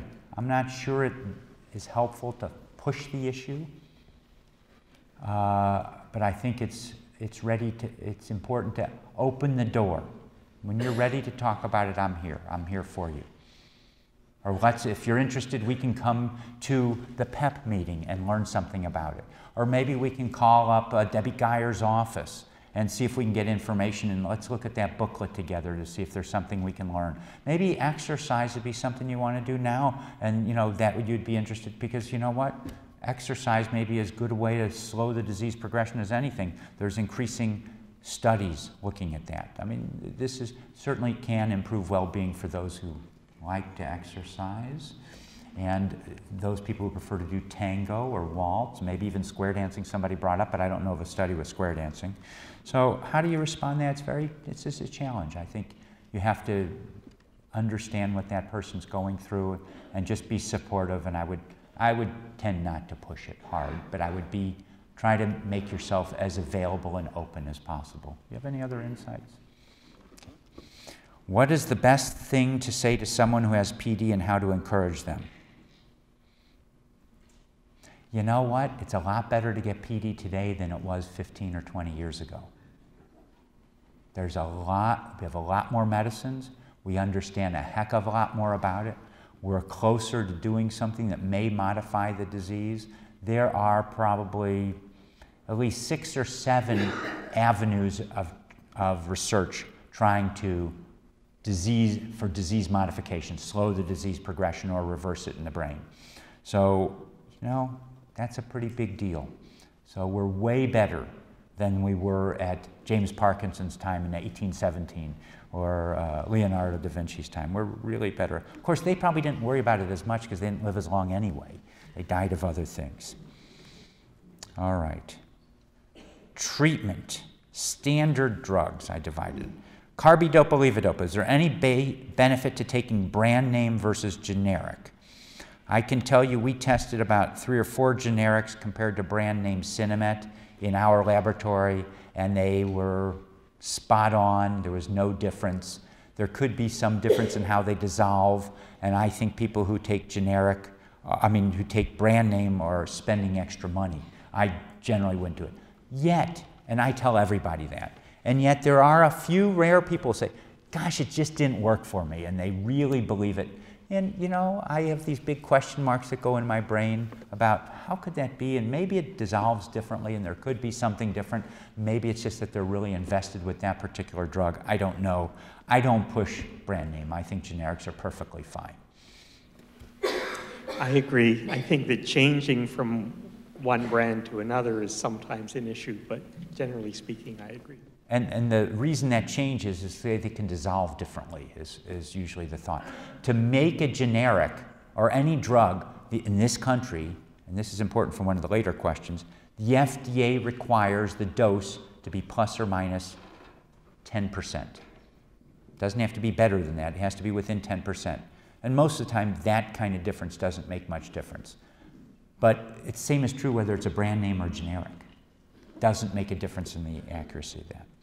But that's going to take me, I'm going to jump to a question. What is your opinion of trying Mucuna pruriens, which is a natural source of L-DOPA to treat Parkinson's?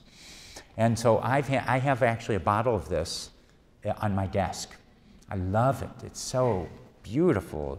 It's, it's, uh, so it has on average 40% of it is L-DOPA, and I know there's a doctor in Missouri that sells this from his office and pushes that. Since it's not considered and manufactured as an FDA regulated drug, but rather as a supplement, there is no guarantee for its purity or percentage. So if you want to take a medicine for which you're not sure how much you're going to get, then take that. But I would consider that foolish. That's pretty direct response.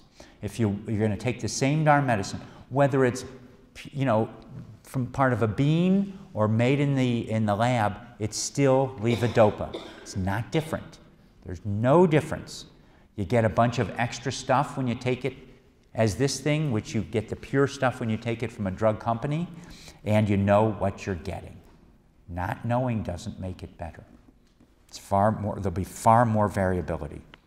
It's probably also worth remembering that Mucuna doesn't have carbidopa in it. So, so it may not be as effective as the uh, drug company supplied product. And more likely to make you throw up. All right, what are the side, or me throw up, hearing about it. What are the side, but I still have it on my desk to remind me of this. What are the side effects from taking carbidopa alone? So carbidopa, you remember, is that component when, we, when you get carbidopa, levodopa, you're getting two medicines. Levodopa is the business action. That's what gets into the brain and gets converted to dopamine to help replace the missing dopamine. Carbidopa blocks the conversion of L-DOPA to dopamine in the rest of the body.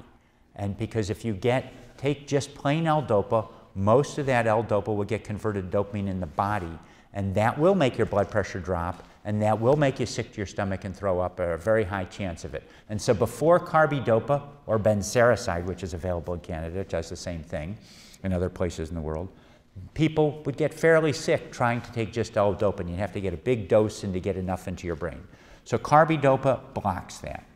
So if you block that carb, if you take just carbidopa alone, will that help? It doesn't get into the brain. It's not likely to make any benefit for you from Parkinson's. It really only helps you if you're taking L-dopa. You don't have much L-dopa in your blood without taking medication. So the carbidopa is not going to make much difference. What about side effects? I don't know if, I haven't ever seen side effects from carbidopa. It theoretically could happen, but I don't, never seen any.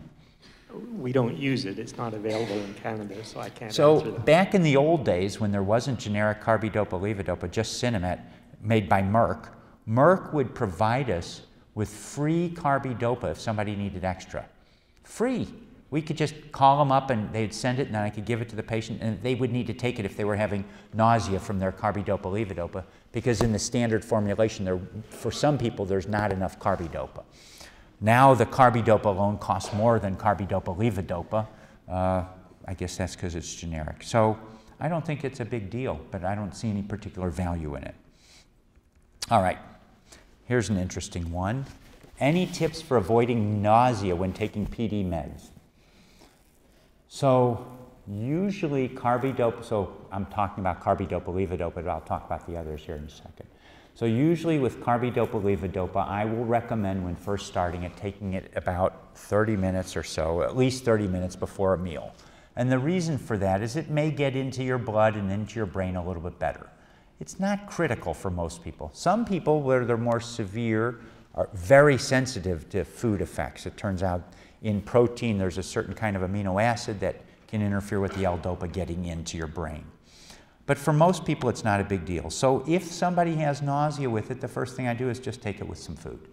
And if you need to take a little more, that's okay. The next thing, some people though get really substantial nausea from it, then we give supplemental carbidopa. And if that doesn't work, then we have some other choices. One choice that's available in Canada that we don't have here is domperidone. That can block the nausea uh, substantially, and that can be very effective. What about the other PD meds? So there's pramipexole, ropinirole. Those things also can cause nausea. In fact, they more commonly cause nausea, I would say, than uh, even levodopa. So again, taking with meals may help to some degree. Adjusting which medicines you're taking. So if you're taking only those, you may do better with a different medicine. So altering that. Uh, sometimes there are medicines that can slow the emptying of the stomach that can cause some upset, usually more bloating than nausea. Uh, and that's things like amantadine sometimes can do that, but old style anticholinergics, you know, cogentin, Artane, those things can make it worse. Hopefully, not a lot of people are taking that today, although I shouldn't address your individual medicines. Uh, you have other thoughts about that? No, uh, just to say that uh, domperidone, which we have in Canada, is extremely effective for the nausea from not only from levodopa, carbidopa, but also from the, all of the dopamine agonists. Right. Any drug that acts on dopamine receptors, domperidone can, is very effective at dealing with side effects. So this medicine is made by Janssen, a pharmaceutical company. I think they still make it. And when I was in England in 82 or 83, I prescribed it a lot. And uh, we don't have it in this country. And uh, so a number of my patients and from our group we will uh, direct them how to obtain it from Canada, although you didn't hear that from me. so that can be good. There are some other choices. Ondansetron can sometimes help, but it's not really hitting directly what we want, and so frequently it doesn't do the job. But what you don't want to take is metoclopramide or Reglan or compazine because those things can make Parkinson's much more severe and a big problem. They work kind of like domperidone, but the difference is those get into the brain and block the dopamine action, whereas domperidone doesn't get into the brain nearly as, in the same way. And so it's a big difference. Okay. Did you want to add? That was good. All right. Um, why does a person have to take pramipexole or carbidopa levodopa? Oh, take both. How long after diagnosing does a person get worse? I have cognitive impairment. I don't understand how that affects my thinking on every level. Could you explain? So, sometimes people take both kinds of medicines, pramipexole and carbidopa levodopa. Parkinson's can progress. We talked about that already. If somebody's having cognitive problems, and that is trouble looking up a phone number and dialing a phone, or being able to do the bills, or remembering things, or getting disoriented, those kinds of problems can be made worse by medication. And so it's very important to try to reduce or eliminate any medicines that can make that worse. And if the Parkinson's you need to treat the movement problem, the motor symptoms to not fall down, then under those circumstances, carbidopa, levodopa, and medicines that make that last longer or affect that are probably reasonable. The dopamine agonists, which are pramipexole, ropinirole, the patch rotigotine, the injectable apomorphine, they may make the thinking problems, they're more likely to exacerbate the thinking problems. So if it's possible to get off, to reduce or eliminate those, it would be better. But just to be fair, L-DOPA also can cause thinking problems in some people. So again, if thinking problems occur, try to reduce or eliminate medicines that can be making that worse. That's really important. And you need to review that. And make sure it's not something else causing thinking problems, because that's not the only reason. Make sure it's not a vitamin deficiency or something else is going on or a bladder infection that's just making everything much worse at the time. All right, here's another question. I was diagnosed a year and a half ago and have not yet started on any drugs other than tremors. What symptoms might taking Parkinson's uh, drugs help? Can I just wait? I think Dr. Martin answered that. You don't need to take medicine unless you feel like you want to have improvement of your symptoms. If your symptoms aren't bothering you, they're not interfering with your function, you're still going out and do stuff, you don't need to take medicine. You don't have to take medicine because your significant other is complaining of your shaking. Only if that's shaking bothering you. In that case, we just need to educate your significant other. Okay? So, on the other hand, sometimes your significant other can notice problems that you're having that you may not be so in tune with. So sometimes you need to work together. But again, you take medicine when you need it. Other than tremors, so and this relates to another question that was I must have missed somewhere, but L-DOPA can help all the manifestations of Parkinson's. Some people are concerned that it won't help the balance problems, but I can tell you when we did the old L-DOPA study, one of the first things that got better when people lost their balance, is their balance got better. But when it gets more severe, it may not be as effective. But the bottom line is, they can help all of those things. Um, so, and it can help tremor too. One person said, well, L-DOPA doesn't help tremor. What else should I take? Well, L-DOPA can help tremor. There are some people that L-DOPA doesn't help their tremor. That occasionally does happen. So there are other choices for that, including deep brain stimulation. But we'll come more to deep brain stimulation in a bit. We're really, we got. I've got some more here for you. Oh, I got. I got. Uh, I I'm not even uh, halfway here. Talk fast. All right, talk fast. And If Uh, you need to use the restrooms, you can. I can or they can? You got a little bottle up here for There me. you are. Oh. All right. I'm an, I'm an 81 year old male diagnosed with Parkinson's in January 2015. My only symptom is tremor in my right arm and leg. I play golf three times a week and walk on the treadmill three, times, three days a week. I was started on half a tablet of carbidopa levodopa initially three times a day, and now I'm up to three tablets three times a day. My tremor is better. Can I stop taking the medicine now? You just answered the question. No. It doesn't cure the disease, it's treating the symptoms. If you stop the medicine suddenly, first of all, you can be in big danger. Do you need that much? I don't know how much you need, but if that's the dose that you had to get to to control your symptoms, then keep taking it unless you have side effects that are a problem. So it's everybody's dose is determined by two things benefit versus side effects. That would be the only two things if we were in Canada. Since we're in the US, the third thing is cost. Okay? And that is an issue for some people. So, but theoretically, benefit versus side effects. If you're doing well, it's doing the job, I always say to people, take the dose that works, not less than that, but not more than that. Just get what works for you. And that may require some adjustment. Okay. My wife has PD for several years and been prescribed carbidopa, levodopa three times a day. I'm puzzled by how unpredictable on and off, on means medicine's working, off is worn off, how they can be and how frequently they switch. One moment she's on, the next moment she's off. There's great variability. So the question is, how come? That's really what's coming on here. And sometimes when she's having a problem, she can get an adrenaline burst and go zoop. That's actually an old story, but we'll come to that in a second. So the answer is as Parkinson's gets more severe, there's less ability in the brain to store dopamine. If we give people L-Dopa and they get the dopamine in the brain, sometimes it gets in the little vesicles, as our Canadian northern uh, partner would say, or vesicles, as I would say, but it means little packages of dopamine in the remaining nerve cells. But you know, as time goes on, there are fewer remaining nerve cells. We think this is the mechanism. We're not 100% sure. So then the effect in the brain may depend more closely uh, align with what the blood level is. And when you take a tablet of L-Dopa, carbidopa levodopa, actually it gets in and goes out pretty quickly. Its half-life, which means how fast it goes down to half the peak level, is really 60 to 90 minutes. So it goes, you know, like that.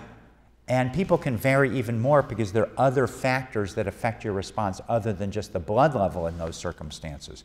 And if one's taking it frequently or just skirting the level that gives them benefit, then they can have little fluctuations and bounce on and off. And there's all kinds of things that affect absorption. For example, having a big meal. Having a big meal puts a lot of blood, puts a lot of food in there, protein there can interfere in some cases. Activity and exercise may use up some dopamine and have an effect. So there are a lot of factors and probably a lot of factors we don't know about that can cause these fluctuations, but you need to go through that. Um, can an adrenaline burst override the symptoms? Well, we do know that there's something called paradoxical kinesia, and that is somebody can be slow and stuck and off with their Parkinson's, sitting there shaking, unable to get up out of the chair, and somebody yells, and this is fake, this is not true, yells fire in a room. There is no fire here today, just to keep you calm. And that person can jump up and run out. And you know what? That's just not psychological in any way that we know about because I can tell you I saw that with one of my furry friends. So I had many years ago, I did research with monkeys for Parkinson's, and I had one monkey that we made very severely Parkinson's, and I was feeding that animal in the room with them back in the days when we were able to do that. Now the restrictions are much greater. And a stranger walked into the room. The animal looked up, bolted to the corner and froze again. So even monkeys can get paradoxical kinesia, uh, kinesia. So it's really kind of interesting. I should have written that one up. It was kind of an interesting observation. All right. And whether that's an adrenaline burst or what's causing that, I think we don't know the answer, unless you know the answer. Okay. Uh, I am taking carbidopa levodopa three times a day. That's a familiar sound, isn't it? I notice that if I'm, taking, if I'm late in taking the midday dose, I actually feel more alert and energized than when I take the meds. So let me just address that. So in some people, DOPA or other medicines, even more likely the other medicines, but DOPA definitely can induce sleepiness or lethargy. And if we eliminate all the medicines or even worse doing that, and you need the amount of DOPA that you're taking, you still have too much lethargy, then what do we do? And we want to make sure it's not a drop in blood pressure because that's a different way. And that can be one way DOPA can cause lethargy as blood pressure drops. So you have to make the diagnosis properly and be careful. Then sometimes we even give people caffeine. Have them take uh, caffeine in the morning, several cups of good strong coffee, or go to the drugstore and buy a no dose. But again, it's a trade off. Make sure that that's appropriate for that person and they're not having side effects. But there are different strategies for that. All right. All right, what might the worst case scenario implications be for a Parkinson's patient who must have a surgical procedure under anesthesia? This is a very common scenario that we have to address.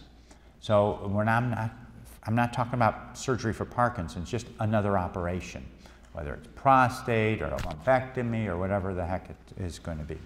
And the answer is there's substantial issues here. So it's common after anesthesia for people to be nauseated and people to get anti-nausea medicine. So it's very important they don't get one that makes their Parkinson's much worse, like compazine, perchlorphenazine, those kinds of things. So Ondansetron is okay. So there's very specific things. In addition, it's common after surgery for people to get pain medicines or sleeping medicines. And if somebody already has any kind of problem with their thinking with Parkinson's, those drugs can make things much worse. In fact, even diphenhydramine, Benadryl, commonly thought to be safe and wonderful, can be a major problem for people with Parkinson's. They can get start hallucinating, seeing things that aren't there, frightened for a week or two after a couple of doses of that. So when one of our people are going for surgery, we usually we have a standard list of medicines to avoid we give them, and frequently we'll even talk to their anesthesiologist or their doctor and explain what to watch for and, and uh, things to avoid. But it's definitely an issue that needs to be addressed in a major way. All right, now I'm going to go to DBS questions. Can DBS completely eradicate the need for Sinemet or carbidopa levodopa? The answer is can it? In some cases it could, but we try not to do that. And the reason we try not to do that is DBS is also a treatment, therapy, and it's a dose related phenomena. So what we generally do is we aim for about half the dose, but again, it depends on the individual. And the reason I say that is if we're jump, increasing the voltage on the DBS, then you're going to burn the battery out faster and you need to replace it faster. So it might be better to give enough DBS current to make the symptoms smooth permit us to reduce the medicine to get rid of some medicine side effects, but not altogether. Because the higher the voltage, the quicker you burn out that battery. You need to come in, go to sleep, and get a new uh, pulse generator battery pack installed, which for the drug company will get a ton of money for that, but you'd prefer to have as few of those as needed. So we don't necessarily push it to its maximum. That's not, that's not the goal. Okay, speak about the general qualifications for DBS. So there's some controversy in this, and I'll give you my uh, bias. My bias is, first of all, you need to have what we best think is regular Parkinson's disease, what we call idiopathic Parkinson's disease. If your doctor's not sure, you shouldn't be going to DBS. And, uh, and remember, when we think we're sure, we're not always right. But so the best information should be that. That generally means good response to levodopa. Now, some people can't tolerate enough levodopa to test that, so, but that's the rare case. Usually somebody should have a good response, but the problems come from doesn't last long enough, and taking more medicine would cause unacceptable side effects, whether it's too much dyskinesia or drop in blood pressure or seeing things that aren't there. Those are bad choices. So my standard glib statement is if tablets work, don't put two holes in your head. Okay? So if medicine's working. Now, there are other people, other Parkinson's specialists, who would push and promote DBS at an earlier stage, thinking that it'll slow disease progression. When I look at their data, their data shows very clearly it doesn't do that at all.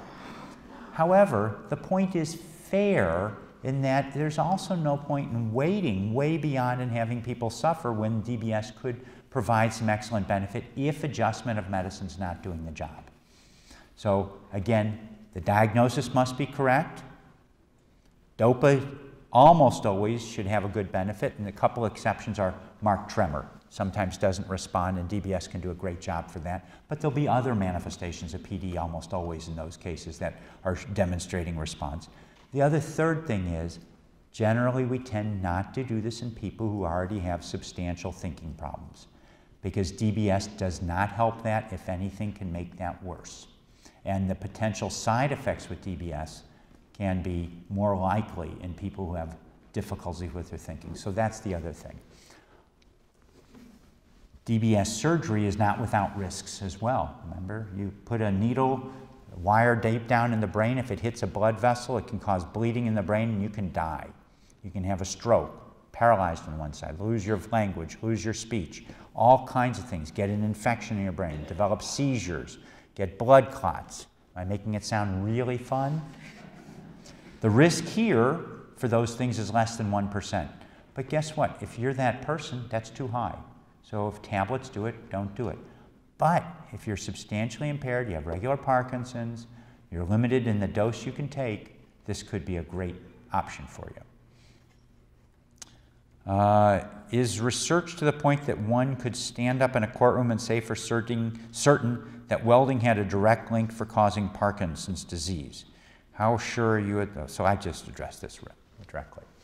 The research is at the point where we think that welding and manganese toxicity affects the brain. I think the data are pretty good for that. There's no question about that. I think it affects the part of the brain that's also affected by Parkinson's in the general area. Whether it exactly causes Parkinson's disease or not, I would say there is not convincing data of that at this time. In fact, some of the changes we see in the brain, and this is uh, Brad Racette and Susan Criswell have done this research, suggest that it's actually a little different pattern that's affected in the part of the brain where the dopamine is uh, produced and used. A little different pattern from standard Parkinson's disease. Yet people who weld have a higher risk of Parkinsonian features, but not necessarily Parkinson's disease. So I would think uh, we are not standing up in court and saying it's causing Parkinson's disease. All right? And what do I know about those studies? A fair amount. Okay, can I comment on the new non-invasive, non-invasive MRI-guided focused ultrasound treatment for the globus pallidus instead of implanted microelectrodes to treat motor symptoms of tremor rigid to treat Parkinson's. We have a physician friend who is very excited about this. So uh, that's an interesting procedure that's a, a, research procedure right now and is being done a number of places in the world, including Canada. Uh, it's basically the same thing as doing a pallidotomy for Parkinson's. In fact, it is the same thing as doing a pallidotomy. So putting a lesion in that one specific part of the brain. The difference between the ordinary pallidotomy and this procedure is that it's completely non-invasive. So you don't have a hole drilled in your skull. You don't have any, any, um, uh, any implanted anything, completely non-invasive. So if the targeting is accurate enough to produce a lesion in that part of the brain that's in exactly the right place and not one or two millimeters off, then it's going to be every bit as beneficial as a, as a pallidotomy. I don't think we're there yet. I think that the research has to be done. It has been done with essential tremor using a related procedure, and it does look to be very effective for that. So I think we're going to see more of it. But the key thing is it's making a hole in that part of the brain. That's what a lesion means. It makes a hole. And the reason we stop doing that for essential tremor is if you need to do it on both sides of the brain for both sides, then people have substantial difficulty with talking. And with DBS, you can adjust it. However, a lot of people only, with essential tremor, only need one side done. And for them, it would be perfectly acceptable.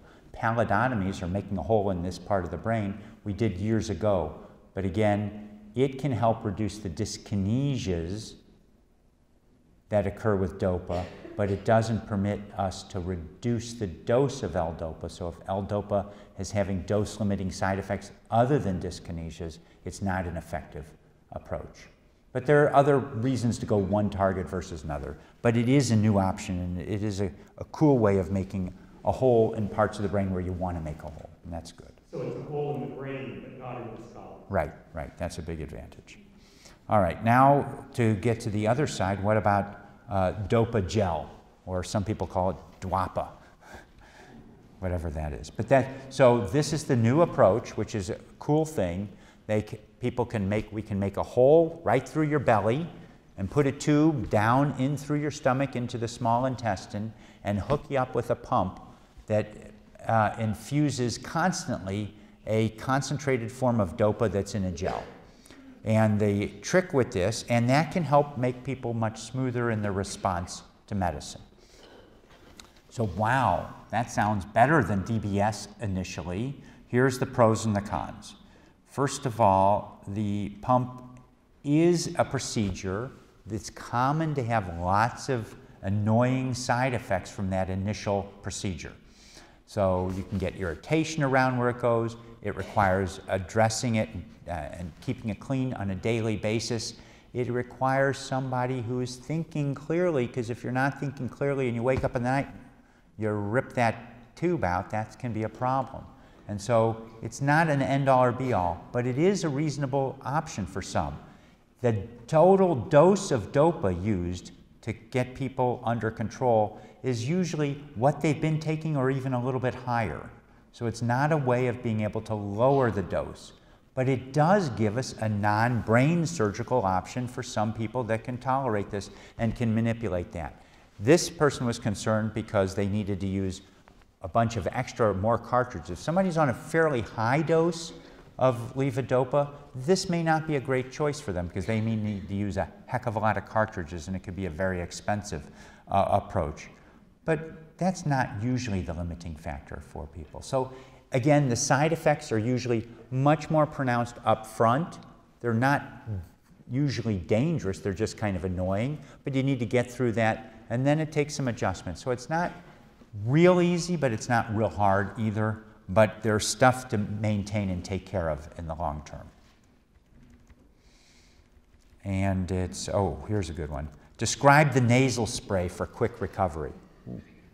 So this made us together go to the internet to find nasal sprays. I can tell you we found five different nasal sprays. Uh, oh, and I'm going to add a sixth because it wasn't in the list. That's my favorite. So uh, the, first nasal spray is, it turns out in Parkinson's, it's very common to get nasal drip. So uh, nasal spray to reduce the nasal drip doesn't help your walking any, and uh, that's like Atrovent and stuff like that.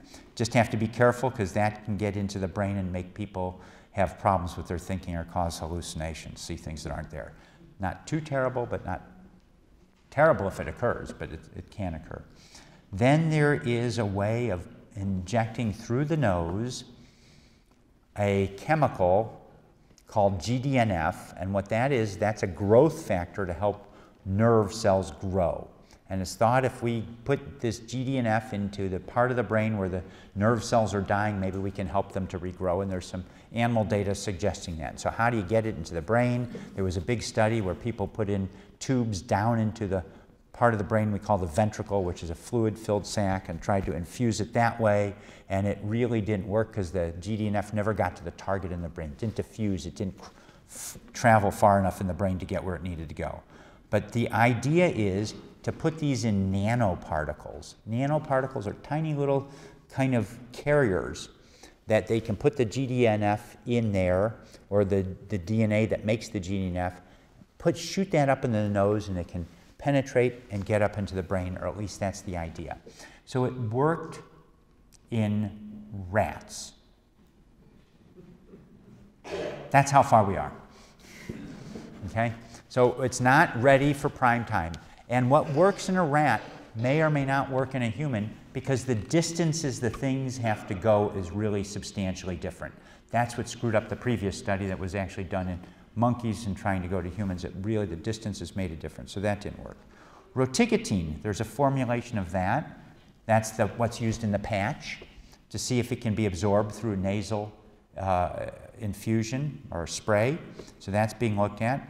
There's inhaled DOPA, and I think that's probably what this person was going after. It's called CVT 301. And so there is a very, there's been a small study, what we call a phase two study, showing it's safe, and a phase three study, which is a big study now, 60 centers, did we find?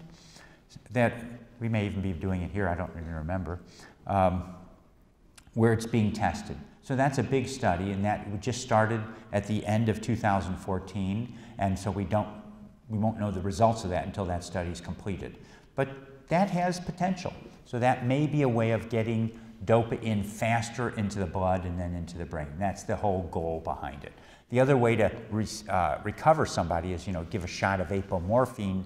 That's another one of these dopamine agonists that may be a little bit faster than, uh, than dope, it's really much faster at making people throw up, too. One of the best around for that. Uh, then there's intranasal glutathione, which is a, uh, another drug that has to do with um, uh, what we call free radicals that may contribute to some of the death of nerve cells in the brain, and that's being tested. Whether injecting through the nose is safe, and that's being funded just starting this year, funded by Michael J. Fox looking at it.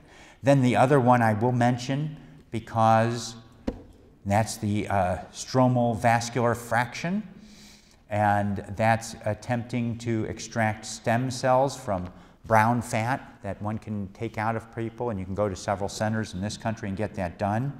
There was an article in the New England Journal of Medicine this past summer uh, uh, saying how the data for doing that was not adequate, and they were very concerned about this being done in this country. Okay. New treatments. How do researchers induce PD in laboratory animals for studying the disease? Many different ways. So there are different animal models of Parkinson's, and the one model that might be the most true to Parkinson's from some sense is to take what's found in people, and that is some people who have the rare genetic defect, taking that genetic defect and injecting that in a way into a mouse, and that's a mouse model. We call that a transgenic model of Parkinson's. It's a way of determining some biochemical type changes and studying that. That mouse model doesn't develop anything that looks like Parkinson's disease, so it doesn't exactly translate.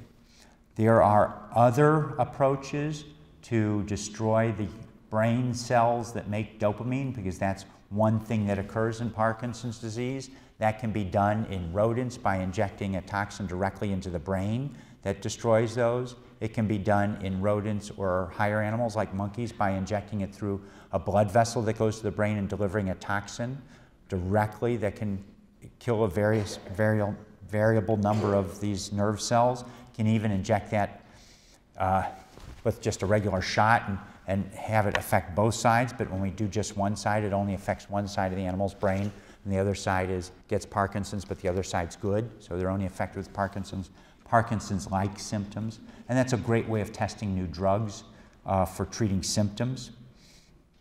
So there are a whole bunch of different animal models. People are trying to get genetic models in monkeys. And the reason for monkeys, because these are very valuable animals that, you know, have some intellect, and we take them extremely seriously, is their behavior very closely mimics the behavior in people. And so it's a huge advantage for everybody in this room that they're able to get treatment. That's my daughter. I'll, I'll catch her later. She's a therapist in Boston, uh, occupational therapist. So if you hear me recommending OT, I'm biased. All right. So uh, that, that's basically the different kinds of models. There are a whole host of different toxins people do that uh, test these things. Do you have any other thoughts on that? Okay. I, we do that a lot. Okay, I've so I don't know what to do with this. I've heard that there's a new medicine approved for people with PD in Canada, which is, uh, but not in the U.S. Could you tell us more about it? So that's why we had to fly in Wayne Martin to talk about this issue. And the two of us found what, what were the two we knew? I've been thinking about this for the last 24 hours, and I don't know of a new medicine that's been approved But the old ones, Well, the old one, domperidone, which we've had for 25 years. 30 years. Yeah. Okay. All right. So now I've got to go to this nilotinib or nilotinib. What? How say it? How, how do you say it? N I L O T I N I B. Nilotinib. Nilotinib. The cancer drug, the leukemia drug. This is the big splash. This makes me crazy. Okay, but I'm going to tell you what's known. So it's an FDA approved drug for leukemia. There was a Society of Neuroscience meeting a few weeks ago, which I was at, And at the Society of Neuroscience, people give talks and presentations. Anybody can send in stuff and give a talk and presentation. They're not what we call peer reviewed. They just, they're accepted because we want to encourage young students and trainees and people to present new ideas, which this is. And this data that was presented was a study, and I use that term loosely, in 12 people. No, 12 people with Parkinson's, no controls, so it's not a scientifically controlled study, no comparison to anything else, just getting this drug. And the people showed improve, and they took this drug for six months. They took two different doses of it, which are substantially less than the doses used for leukemia, so it would be less risky. And they did it in people with PD and PD with cognitive impairment, with dementia, whether it started early or late.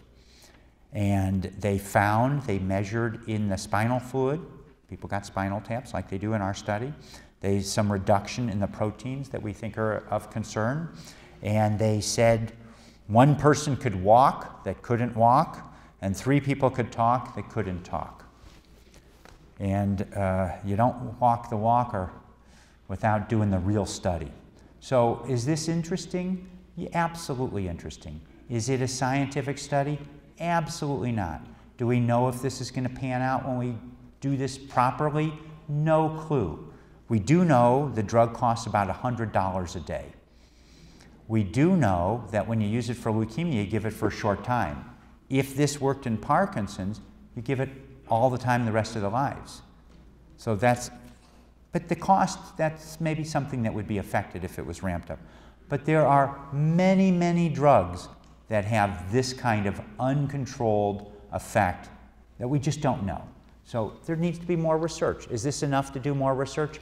Absolutely. Is it enough to get into a study for humans? Absolutely not.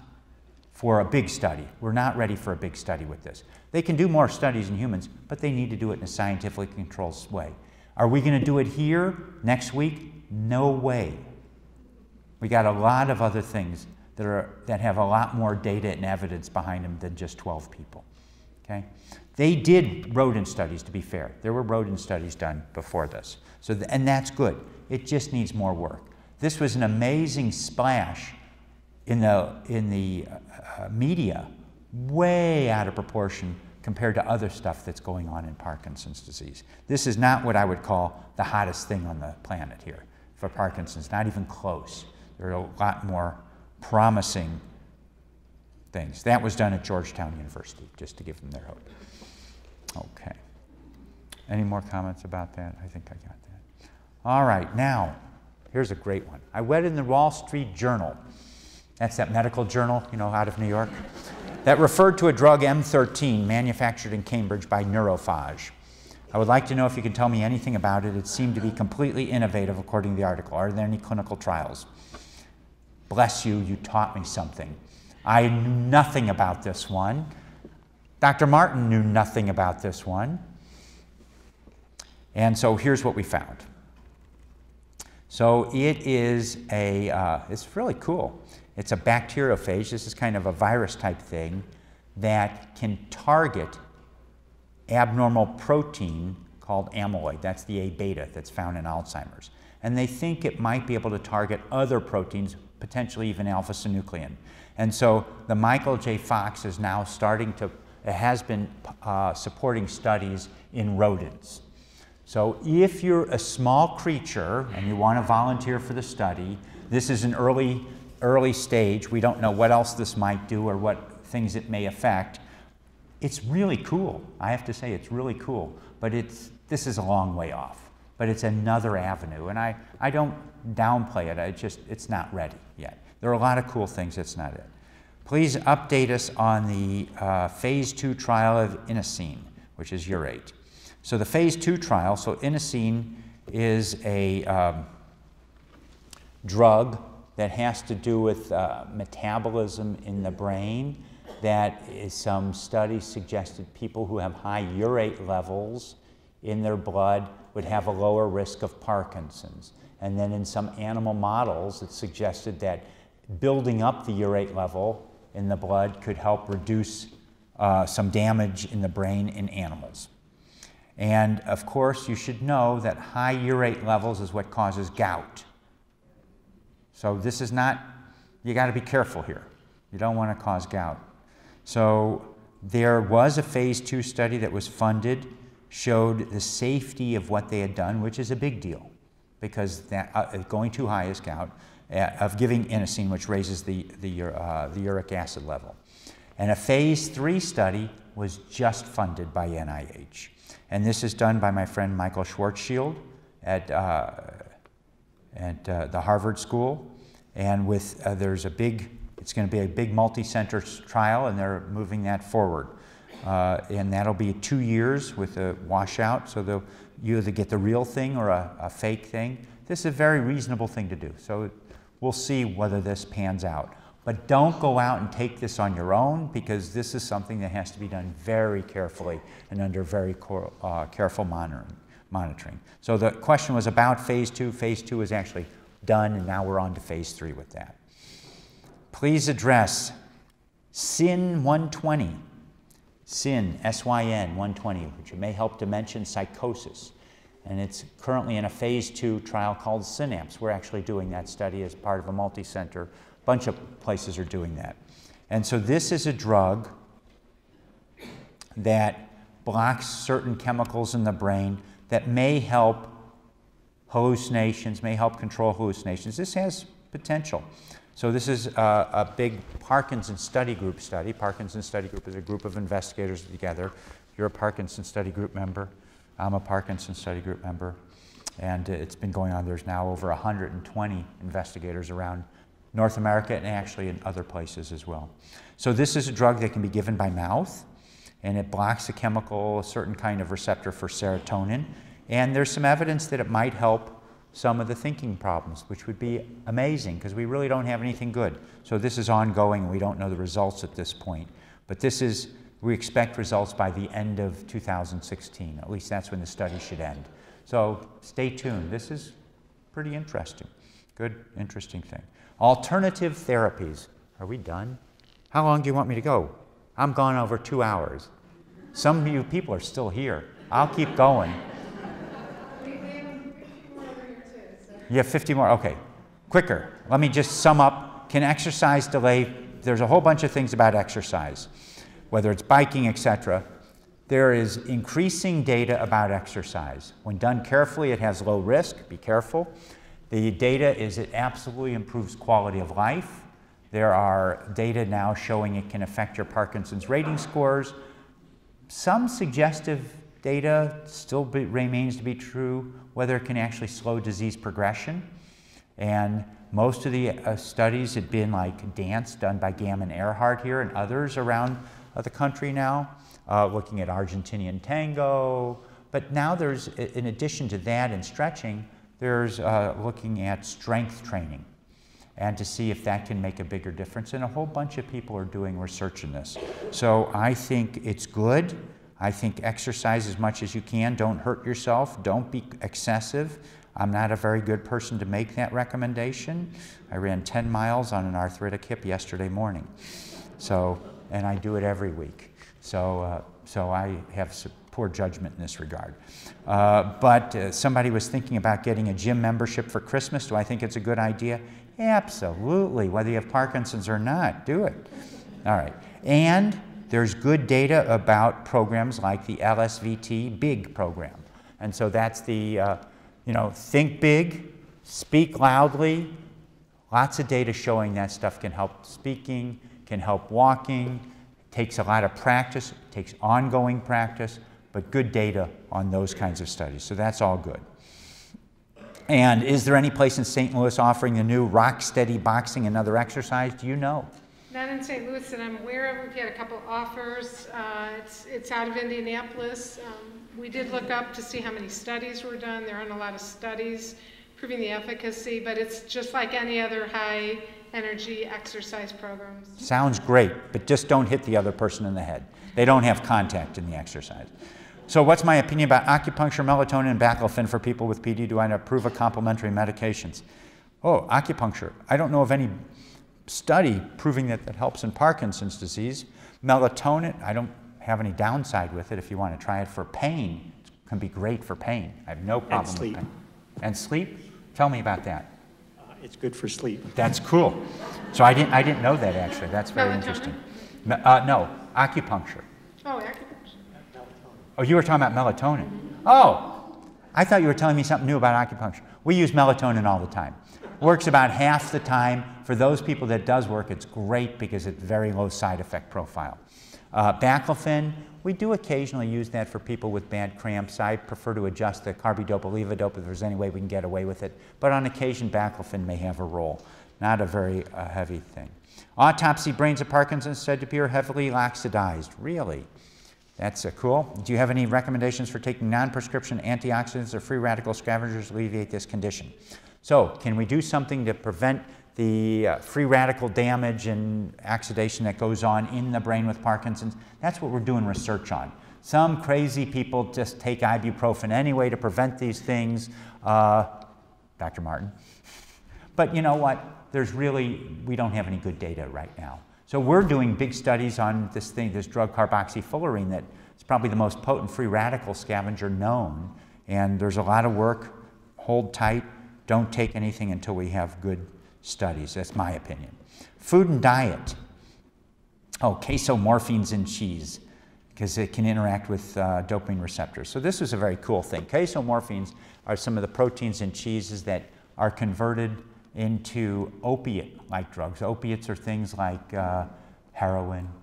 That's a bad one. Uh, morphine, uh, codeine type drugs. So it turns out those type drugs in very small amounts do interact and they, uh, with dopamine receptors and the same kind of neurons. And so there can be an interaction with there.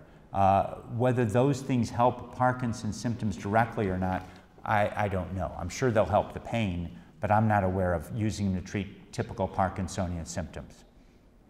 Okay. Moving on. Combining. So foods, can foods interfere? I've already mentioned briefly that in protein there are large neutral amino acids, part of proteins that may interfere with dopamine getting in. They don't really do anything else that's relevant there. All right. Some proponents leaky gut syndrome. uh, Nutraceuticals.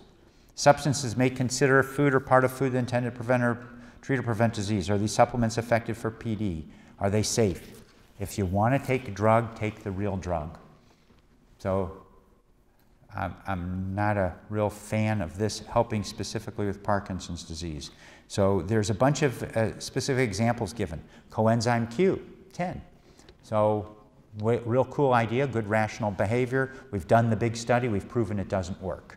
Same thing for vitamin E, we've proven it doesn't work. There was a great idea, it was a big study, didn't work. Creatine also has been in trial, didn't work. Uh, glutathione has not yet been demonstrated to work, but I think not a big trial that I'm aware of for that. Uh, caffeine, we use resveratrol, drink red wine, uh, curcumin. Not a lot of data on these other things. Things that have a combination of a bunch of stuff in it makes it harder to sort out because you really want to identify what is the specific uh, chemical and then go after that because then you can avoid side effects. And are there dietitians on staff who can help? Yes, that's the answer. Uh, what have you found are the best things to fight off progression? Diet, exercise, medications. Uh, right now, that's what we're still looking for. Exercise, have a healthy diet, don't get uh, too high a cholesterol, it's probably as good as anything. Medications, we don't, actually, you know, there's one medication that slowed disease progression more than any other, but it was only in a nine month study, and that was L-DOPA, actually. So th- probably the best, the greatest effect in slowing disease progression was from L-DOPA itself, interestingly enough. But the study was limited because it was only nine months long, and they only washed out the L-DOPA for one week, two week in some people to get rid of the symptomatic effects, because otherwise it can be confusing. All right, share the latest research. So, indicators for PD related memory and thinking problems via MRI. So, there's a lot of different research going on. one of the studies that we're doing is sorting out the different causes of thinking problems, identifying markers, what may predict thinking problems, what's going on in the brain, trying to identify different chemical changes in the brains that we didn't really target before. These may be new targets for treatment. There is a drug that we've developed that looks like it might has potential to reverse the damage in the brain, but so far it's animal studies only. And we're now we hadn't moved at all on that for a year and a half because we had no funding to do that. And we may have funding coming up shortly to uh, what I want to do before doing a big study in humans is develop a means for determining how it's working in humans, uh, a way of scanning to see that the drug actually gets into the brain and hits the target we think it is. Rather than just spending $15 million on a study, I want to know that I'm hitting the target that I'm aiming so we can really test it. Too many studies, in my opinion, have been done without that really strong evidence that we know we're hitting our targets. And that can be a big waste. There are other people that are looking at vaccines we've talked about and some cool studies, vaccines to try to attack this alpha synuclein protein. It's not clear that attacking the protein will necessarily make you better. We don't know that, but it's a reasonable place to go after. And so the studies have now shown some of the safety of that approach, and that's a big step. Preliminarily, maybe there was some benefit, but that was not really designed to address that. But that is an avenue for investigation. It's way cool. So that, that's another uh, good thing. People are looking at how does alpha-synuclein spread in the brain, and if they do that, could there be certain spots when it jumps from one nerve cell to the other? Could we block those spots where it, how it gets into the nerve cells? People are starting to even look at that in a dish, even before animal models. So that is another down the road that could be way cool if the spread of alpha-synuclein is a critical thing, and it very well may be. So that's cool. So there's a lot of stuff with that. And that's called the prion hypothesis because it spreads like this other stuff.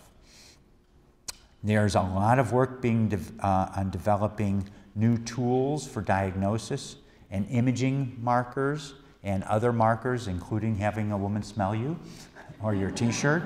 Uh, and that's important because if we could diagnose for certain, right now, our only way to know for certain if somebody has Parkinson's is to look at their brain under a microscope. There is no other way. Dr. Martin pointed that out. And we can get a pretty good idea. We think it increases the longer we see somebody, our accuracy, but you know, it's not perfect. And that makes a difference because if we want to test new things or try new things, you got to know what the heck you're treating. You know, and what research is being done to address non-motor symptoms, especially fatigue and apathy. And there actually have been a couple of drugs going after apathy. Uh, fatigue is, can be a tough thing because there can be multiple causes of fatigue, and non-motor symptoms are a big issue right now. So one of the biggest things is to understand what causes it so we can target them better. But things like constipation, there's been a lot of uh, people looking at that, swallowing problems, um, thinking problems is really the, by far the biggest unmet need in my opinion. But drops in blood pressure, we have a new medicine right now, droxidopa, that can help some. So there are new things. You want to, did I miss a big category? This would take many hours to, yeah. to cover, but I think you got all the highlights. Okay, that's the initial list. Okay, there, and a lot of those that you have over there, we've already touched on, but I didn't want to exclude something. You've been very patient, audience, and you've been very patient in your responses. So we're going to whip those, whip through those, and probably give another 10 minutes, and then I want to get you guys on on the road before it gets dark, and and this may not be a familiar area to you. If we've missed covering something that you want covered, all you need to do is send me an email he's great about answering emails. So he'll answer and I'll send you the answer. So please feel free to do that. Go ahead. And feel free to leave if you must. Well, I, I have to address this. It's about sex. Could there be a correlation of PD and sexual activity because of aging? So the answer is sexual function absolutely can be affected with Parkinson's disease. In men, we know there can be a problem with uh, uh, with uh, erections. In women, we know there can be a problem with arousal and lubrication. Uh, both of those things are common, and uh, both we know in men that it, it, can respond to medicines used for erectile dysfunction, including Viagra and those kinds of medicines. You have to be careful because there are potential side effects because it can drop blood pressure. That's the biggest issue. Uh, so this is absolutely an issue that uh, is being looked at. But again, other medicines may interfere, so it's important to uh, evaluate what other medicines are going on. It also, sexual activity can be affected in, in terms of positioning. And so that's something that you need to explore with your partner and you can talk about with your physician if they're able to do that. And hopefully they are able. But that's something that absolutely needs to be uh, looked at because different kinds of positions and uh, changes in that. Do we have any kids in the audience here? Okay. So, uh, you know, the, you have to make it uh, reasonable, comfortable. And if it's not comfortable, it's not going to work, right? For either a man or a woman. So uh, that's a very important issue. Do you have anything else to add about that sexual business? Okay. It is, it is. How about depth perception? Wow, cool. So depth perception, visual depth perception. So there is a problem with convergence. People can have trouble shifting focus from far to near, and that can be affected by Parkinson's. And some people, that's helped by medicine. DOPA can be actually responsive, others it's not. And so shifting can be a problem. If the eyes don't work exactly together, then depth perception gets screwed up. That's more common in the non-Parkinsonian types of Parkinson's, so the other different kinds of Parkinson's, but in some people it can occur, and it can be actually DOPA responsive in some less common uh, cases. But if you have a problem with depth perception, you should get checked by your eye doctor to make sure it's not something else, because that's really a bigger issue too. All right, how about panic attacks? Does panic attack meds work with Parkinson's? Yes, most of the time. All right, depends what panic attack medicine is, I guess I should say because there's some that can be uh, more dangerous. So that would depend upon the individual specifics. We are close to,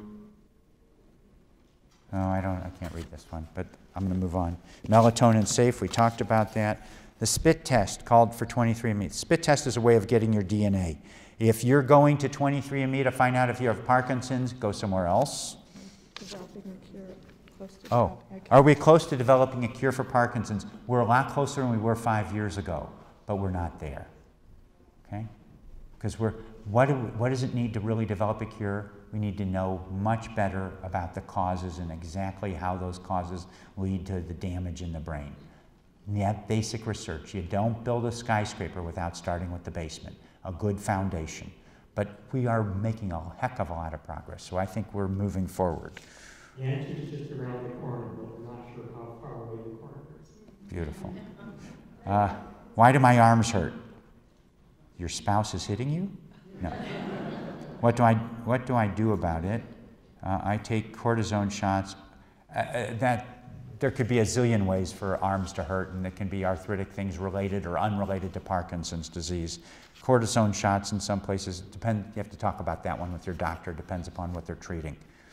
Someone has a comment, a question about turning off DBS and having that help with leg cramps. Wow. So, you know, that's not totally crazy, but uh, it is true that DBS, certain settings in some people can lead to dystonic cramps. So there's just cramps and posturing of different parts of the body. Is she okay? No, behind you. She all right? Okay. Just checking. I know I put some people to sleep, it's okay. so, uh, in some cases, that can't, I mean, if, if DBS is doing it, turning off the DBS will make it go away. Uh, but if DBS is doing it and turning it off makes it go away, then there might be different settings that could give benefit without causing that. So that's one you need to talk about with the people who are doing your programming. So that's very important. So yes, it could be related. It doesn't have to be, but it could be related. Okay, is there any value to hydrotherapy? Sitting in a water pool with, uh, with hydrojets going over you, relaxing your body, making you relax? I'm in. So the only thing you have to watch for is when you're going into any kind of warm pool, standing up, your blood pressure can drop, and so you can be more likely to get uh, lightheaded and even faint. So just be cautious. We talked about exercise and progression. We talked about sense of smell, which can be an early symptom. Is there any consideration that PD is increasing uh, with the use of uh, lawn service chemicals? No. Uh, what about pesticides was kind of thrown in. So there is some research about uh, farm pesticides. They're not usually the ones used uh, well, I shouldn't say that. You know, I used to, on my garden, my tomatoes, the most common pesticide that was said to be safe, you could eat the tomatoes the next day, was rotenone. We now use rotenone as an animal model of Parkinson's because it can go in and end up destroying the brain cells that cause uh, that produce dopamine. So yeah, rotenone is probably not a good choice anymore. But uh, you know, so when I'm saying no, it means we have no evidence. Doesn't mean it doesn't absolutely have any relationship, right? Okay, any increase in St. Louis area due to the companies such as Monsanto? Really none. None that I know about. Could you give, do you know about St. Louis increased risk? How about Edmonton? Any companies? We have the bigger chemical companies here. Uh, could you give any updates on research on PSP? I don't know. I say the same thing. There is some PSP stuff people are doing. There's a big multi-center. Oh, that's MSA. There is a there is a multi-center study trying to look at causes and manifestations of PSP. I think uh, there was actually one or two drug studies in PSP going on. Yeah. Uh, what different types of Parkinson's? We referred to that already. And Parkinson's plus just means those other Parkinsonian syndromes like PSP or MSA or cortical basal degeneration or vascular Parkinson's. All right. What research? What research is going at WashU for PSP? We're not doing any research for PSP at WashU. I can tell you that right now.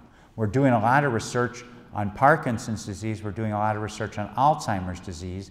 Alzheimer's disease affects the same, there's the same proteins involved, so that may be a spillover, but there's no direct study right now on PSP, although we've been talking about one lately, actually doing a tauopathy scan. Uh, it's a just all a matter of money. And uh, so this is mostly about PSP. So one of the things we were looking at for PSP is there's a new kind of scan that may be able to measure in the brain the abnormal protein that occurs in PSP, and that's the study that we've been thinking about studying, but we haven't raised the funds to do that at this point. What can you tell us about stem cell research for Parkinson's? Are we getting close to using that? Uh, so stem cell research uh, was a big issue, it was more popular in the past. There's still a lot of research going on. And at first it had required fetal cells.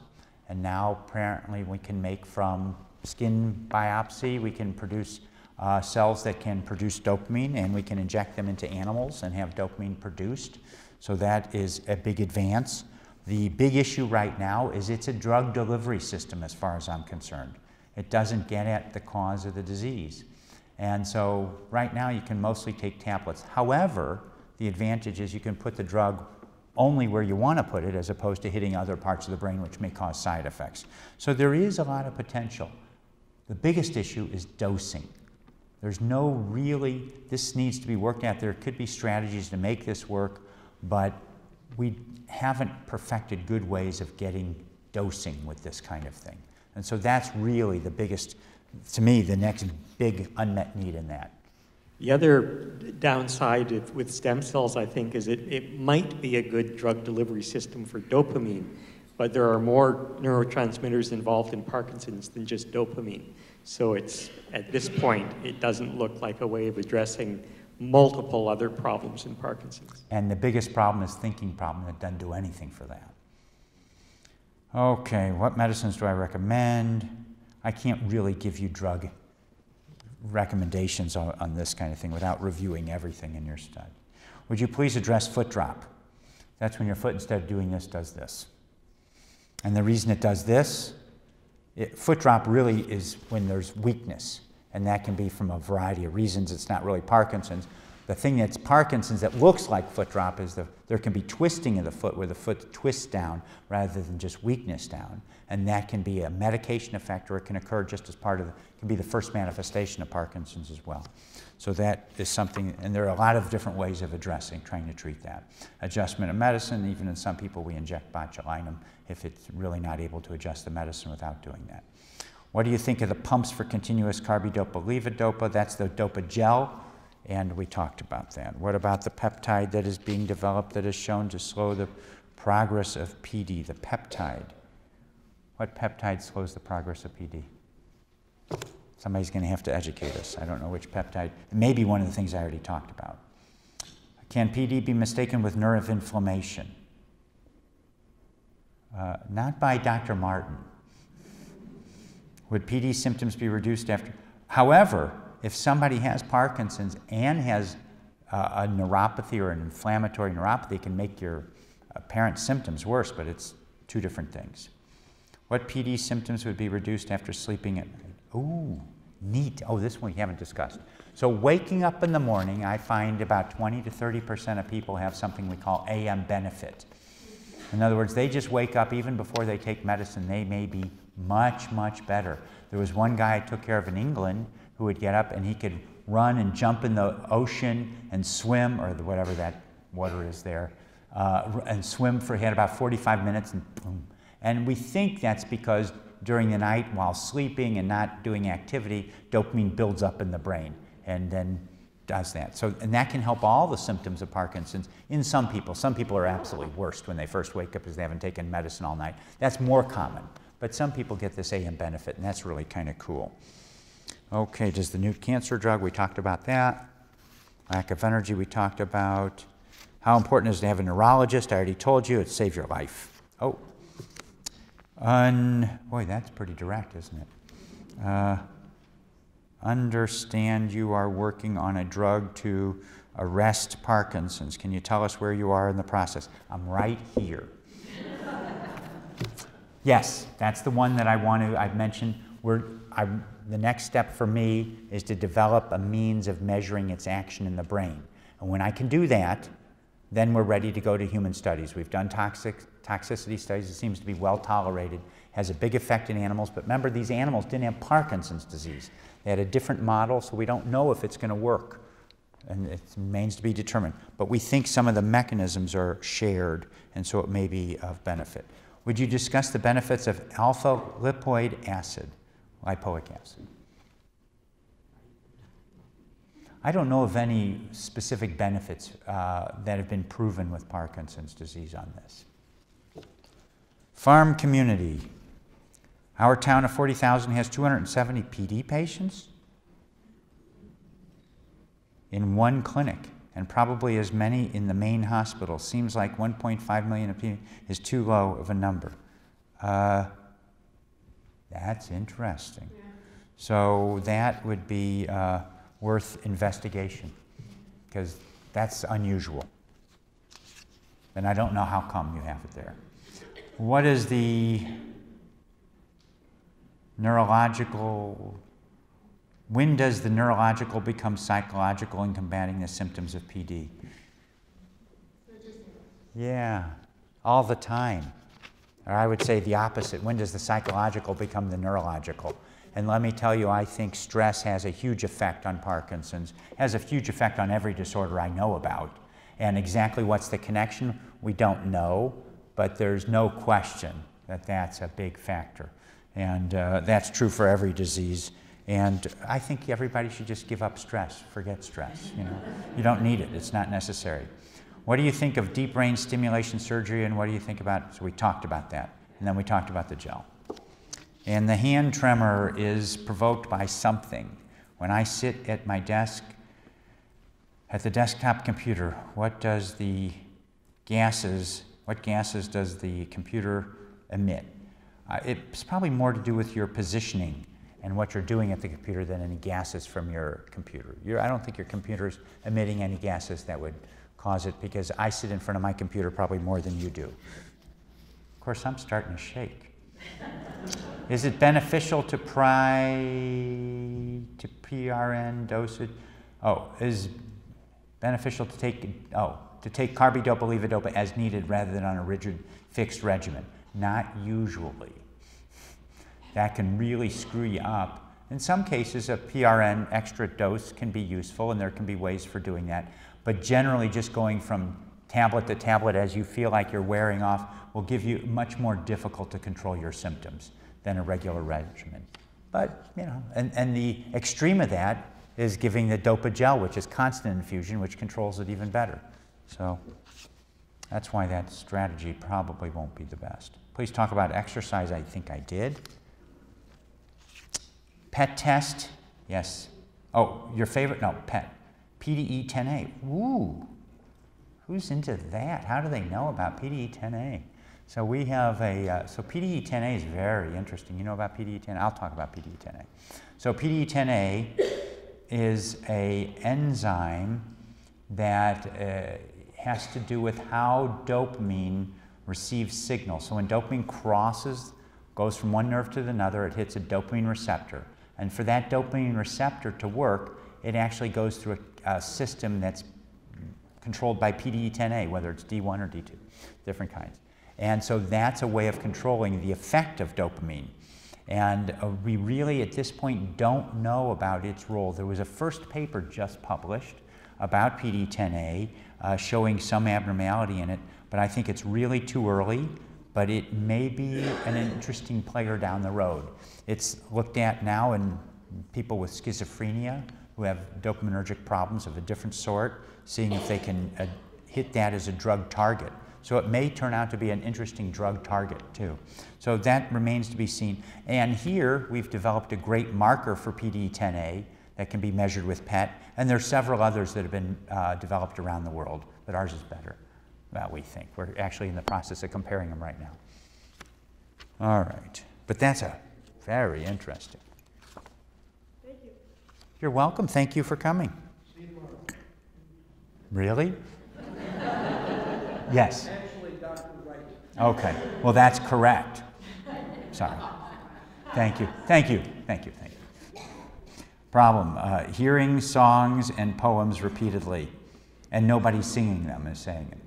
That could be an issue that you should discuss with your caregiver and your doctor because that could be a medicine effect or it may be unrelated, but it should be sorted out. Have you heard if boxing helps control the tremors? Not hitting people in the head, but doing that kind of exercise might be way cool. Uh, NPR released, oh, that's the crazy study. Uh, do you have any other information on the Rock Rocksteady? We talked about it. A poster on the side of a bus at the Galleria advertised you can get paid to take care of a relative. Do you know which government program? Yeah, there's a, you can take something off on your taxes, just give us a call at the office, we can send you some information on it. Which insurance company has long-term long-term Yeah, care we'll find that policy out for you too. So if you have insurance questions, we have Stacy Barton who can help us out with some of those questions, feel free to call. And how do you get an appointment with you sooner than July 2016? It's now September, I hear. Uh, they got squeezed in. It's a problem. It's really a problem. And so we just hired a new Parkinson's specialist who'll be starting July 1. He's actually really good, Dr. Pietro Mazzoni. Oh, I don't know if that's been announced publicly. So don't tell anybody, that's a secret. He's really good. He's really good. From New York. They are now, oh, well, he's been in New York. He's probably from Italy. Okay, uh, they are finding that negative thoughts result in body creating less than optimal. Well, look, negative thoughts are bad. And you know what? And I mean that sincerely. Attitude is everything. Attitude and stress is a big deal. And whatever you can do and whatever you need to do to get that is going to be very important. And I suspect it does have dramatic effects in the brain. Well, I want to thank you. I want to thank Dr. Martin. I want to thank the audience for being so attentive and staying. As always, I think we really, really appreciate um,